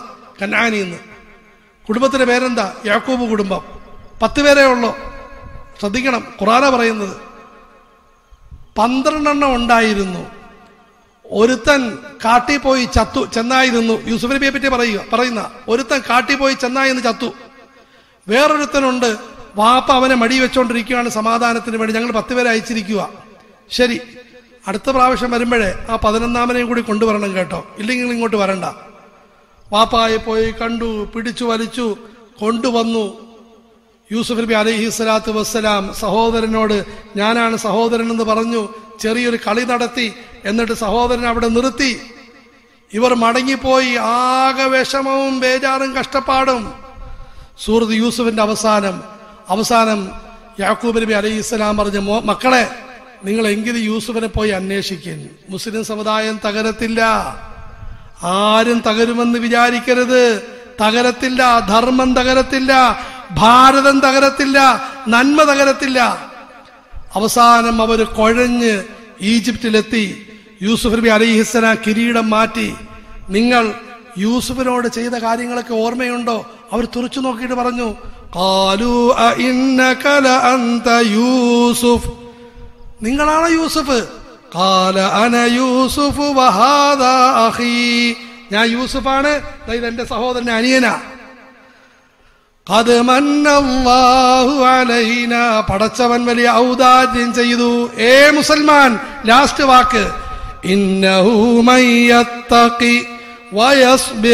ആരെങ്കിലും സൂക്ഷ്മതയോടെ ജീവിതം നയിച്ചാൽ ആത്മനിയന്ത്രണം മുറുകെ പിടിച്ചാൽ فإن الله لا يضيع أجر المحسنين നല്ലവരുടെ പ്രതിഫലം പടച്ചവൻ പാഴാക്കത്തില്ല ഖുർആൻ ശാശ്വത സത്യം ബൈബിളിൽ ഇതുണ്ട് ഖുർആൻ സംഗീതാത്മകമായി പറയുന്നു അവർ യൂസുഫ് നബി അലൈഹി ഇസ്ലാമിന് മുമ്പിൽ വീണു മാപ്പ് ചോദിച്ചു അദ്ദേഹം പറഞ്ഞ എല്ലാവർക്കും മാപ്പ് വാപ്പായൊന്ന് കൊണ്ടുവന്നാൽ മതി അവർ പോയി വാപ്പയെ കൊണ്ടുവന്നു വാപ്പയെ പീഠത്തിലിരുത്തി ച- എന്താണ് ഉമ്മ മരിച്ചു പോയിരുന്നു രണ്ടാം ഉമ്മയുള്ളത് ഉമ്മയും ഇരുത്തി വളരെ സ്നേഹത്തിനും ആഹ്ലാദത്തിനുമായി കഴിഞ്ഞു. നാളുകൾക്ക് ശേഷം തൗബയോടുകൂടി ഈമാനോടുകൂടി യൂസുഫ് നബി അലഹി ഇസ്ലാം അള്ളാഹുലേക്ക് യാത്രയായി. നൂറ്റാണ്ടുകൾക്ക് ശേഷം മക്കയുടെ മണ്ണിൽ മുഹമ്മദ് റസൂലുല്ലാഹി സല്ലാഹുലിസ ഉദയം ചെയ്തു. കണ്ണുപൊട്ടന്മാർക്ക് കണ്ണുണ്ടായില്ല അവസാനം നിബിതങ്ങളുടെ നാട്ടിൽ നിന്നും അവർ പുറത്താക്കി. ആദരവായ റസൂലുല്ലാഹി സല്ലാഹു അലൈഹി വസല്ലം യൂസുഫി മാർഗത്തിലൂടെ സഞ്ചരിച്ചു തക്കുവയിലൂടെ സബറിലൂടെ സഞ്ചരിച്ചു. ഒരു റമദാ മാസം ആ മുഹമ്മദി പ്രവാഹം കഅബ ഷരീഫയുടെ മുറ്റത്ത് വന്നു തവാഫ് ചെയ്തു കഅബയുടെ ഉള്ളിലേക്ക് തള്ളിക്കയറി വിഗ്രഹങ്ങളൊക്കെ പുറത്തേക്ക് മാറ്റി. റസൂലുള്ളാഹി സല്ലാഹു അലൈഹി മുമ്പിൽ തങ്ങളെ മുമ്പ് മർദ്ദിച്ച പീഡിപ്പിച്ച മുഴുവൻ ആൾക്കാരും മുമ്പിൽ വന്ന് നിൽക്കുന്നു. തങ്ങൾ അവരോട് ചോദിച്ചു നിങ്ങൾ എന്നിൽ നിന്നും എന്താ പ്രതീക്ഷിക്കുന്നത്? അവർ പറഞ്ഞു ഞങ്ങൾക്ക് മറുപടി ഒന്നുമില്ല പക്ഷെ ഒന്നുണ്ട്. നിങ്ങൾ മാന്യനാണ് വാപ്പ മാന്യനാണ്. ആദരവായ റസൂലുല്ലാഹി സല്ലല്ലാഹു അലൈഹി വസല്ലം അരുളി ആ നബിയെ പറ്റിയാണ് ഇന്ന് സമുദായത്തിനിടയിൽ പോലും വിശ്വാസത്തിന് കുഴപ്പമുണ്ടാകുന്ന രീതിയിൽ പ്രചാരണം നടത്തപ്പെട്ടുകൊണ്ടിരിക്കുന്നത്. ആ പ്രവാചകൻ അവരോട് പറഞ്ഞു നിങ്ങൾ അങ്ങനെയാണ് പറയുന്നതെങ്കിൽ മാന്യനായ പിതാമഹന്റെ മാന്യനായ പിതാവിന്റെ മാന്യനായ മകൻ യൂസുഫ് നബി അലൈഹി ഇസ്ലാം പറഞ്ഞതുപോലെ ഞാൻ നിങ്ങളോട് പറയുകയാണ്. നിങ്ങൾക്കെല്ലാവർക്കും സ്വാതന്ത്ര്യം ഞാൻ നിങ്ങളെ വിട്ടയക്കുന്നു മാപ്പ് നൽകിയിരിക്കുന്നു. എന്റെ പ്രിയപ്പെട്ട സഹോദര സഹോദരി സഹാബാക്കളുടെ കാലഘട്ടത്തിൽ ഇത് ആവർത്തിച്ചു. ഔലിയാക്കളുടെ കാലഘട്ടത്തിൽ ആവർത്തിച്ചു. മുഴുവൻ മഹാന്മാരും ഇന്ത്യയുമായി ബന്ധപ്പെട്ട മഹാന്മാര് പറഞ്ഞിട്ടുണ്ട് ഇന്ത്യയിൽ ഇത് ആവർത്തിച്ചിട്ടുണ്ട് ഒരിക്കൽ കൂടി ആവർത്തിക്കാനുണ്ട്. അള്ളാഹു അത് ഈ സമയത്തേക്ക് ആക്കുമാറാകട്ടെ. അതിന് പ്രിയപ്പെട്ട സഹോദര സഹോദരി നിങ്ങൾ ആരെയും വ്യത്യാസമില്ലാതെ മുഴുവൻ ആളുകളെയും വളരെ സ്നേഹത്തിൽ പറയുകയാണ് ഈ നാല് പ്രവർത്തനങ്ങൾക്ക് തയ്യാറാകണം. ഒന്ന് നമ്മൾ പഴയ ചരിത്രങ്ങൾ കൊണ്ടുവരണം. ഈ രാജ്യത്തിന്റെ ശരിയായ ചിത്രങ്ങൾ കൊണ്ടുവരണം. നിങ്ങളുടെ നാട്ടിലുള്ള മുസ്ലിമീങ്ങൾ അമുസ്ലിമീങ്ങളുടെ ബന്ധങ്ങൾ ഇന്ത്യയുടെ ബന്ധങ്ങൾ. രണ്ടാമതായി കഠിന ശത്രുതയുള്ള ആളുകളെ നിയമത്തിനുള്ളിൽ നിന്നുകൊണ്ട് നേരിടണം തികഞ്ഞ സൂക്ഷ്മതയോടെ. മൂന്നാമതായി നമ്മൾ ഇക്കാമത്തു സ്വലാത്ത് പടച്ചവരുമായി വലിയൊരു ബന്ധമുണ്ടാക്കിയെടുക്കണം. വലിയൊരു ബന്ധമുണ്ടാക്കിയെടുക്കണം.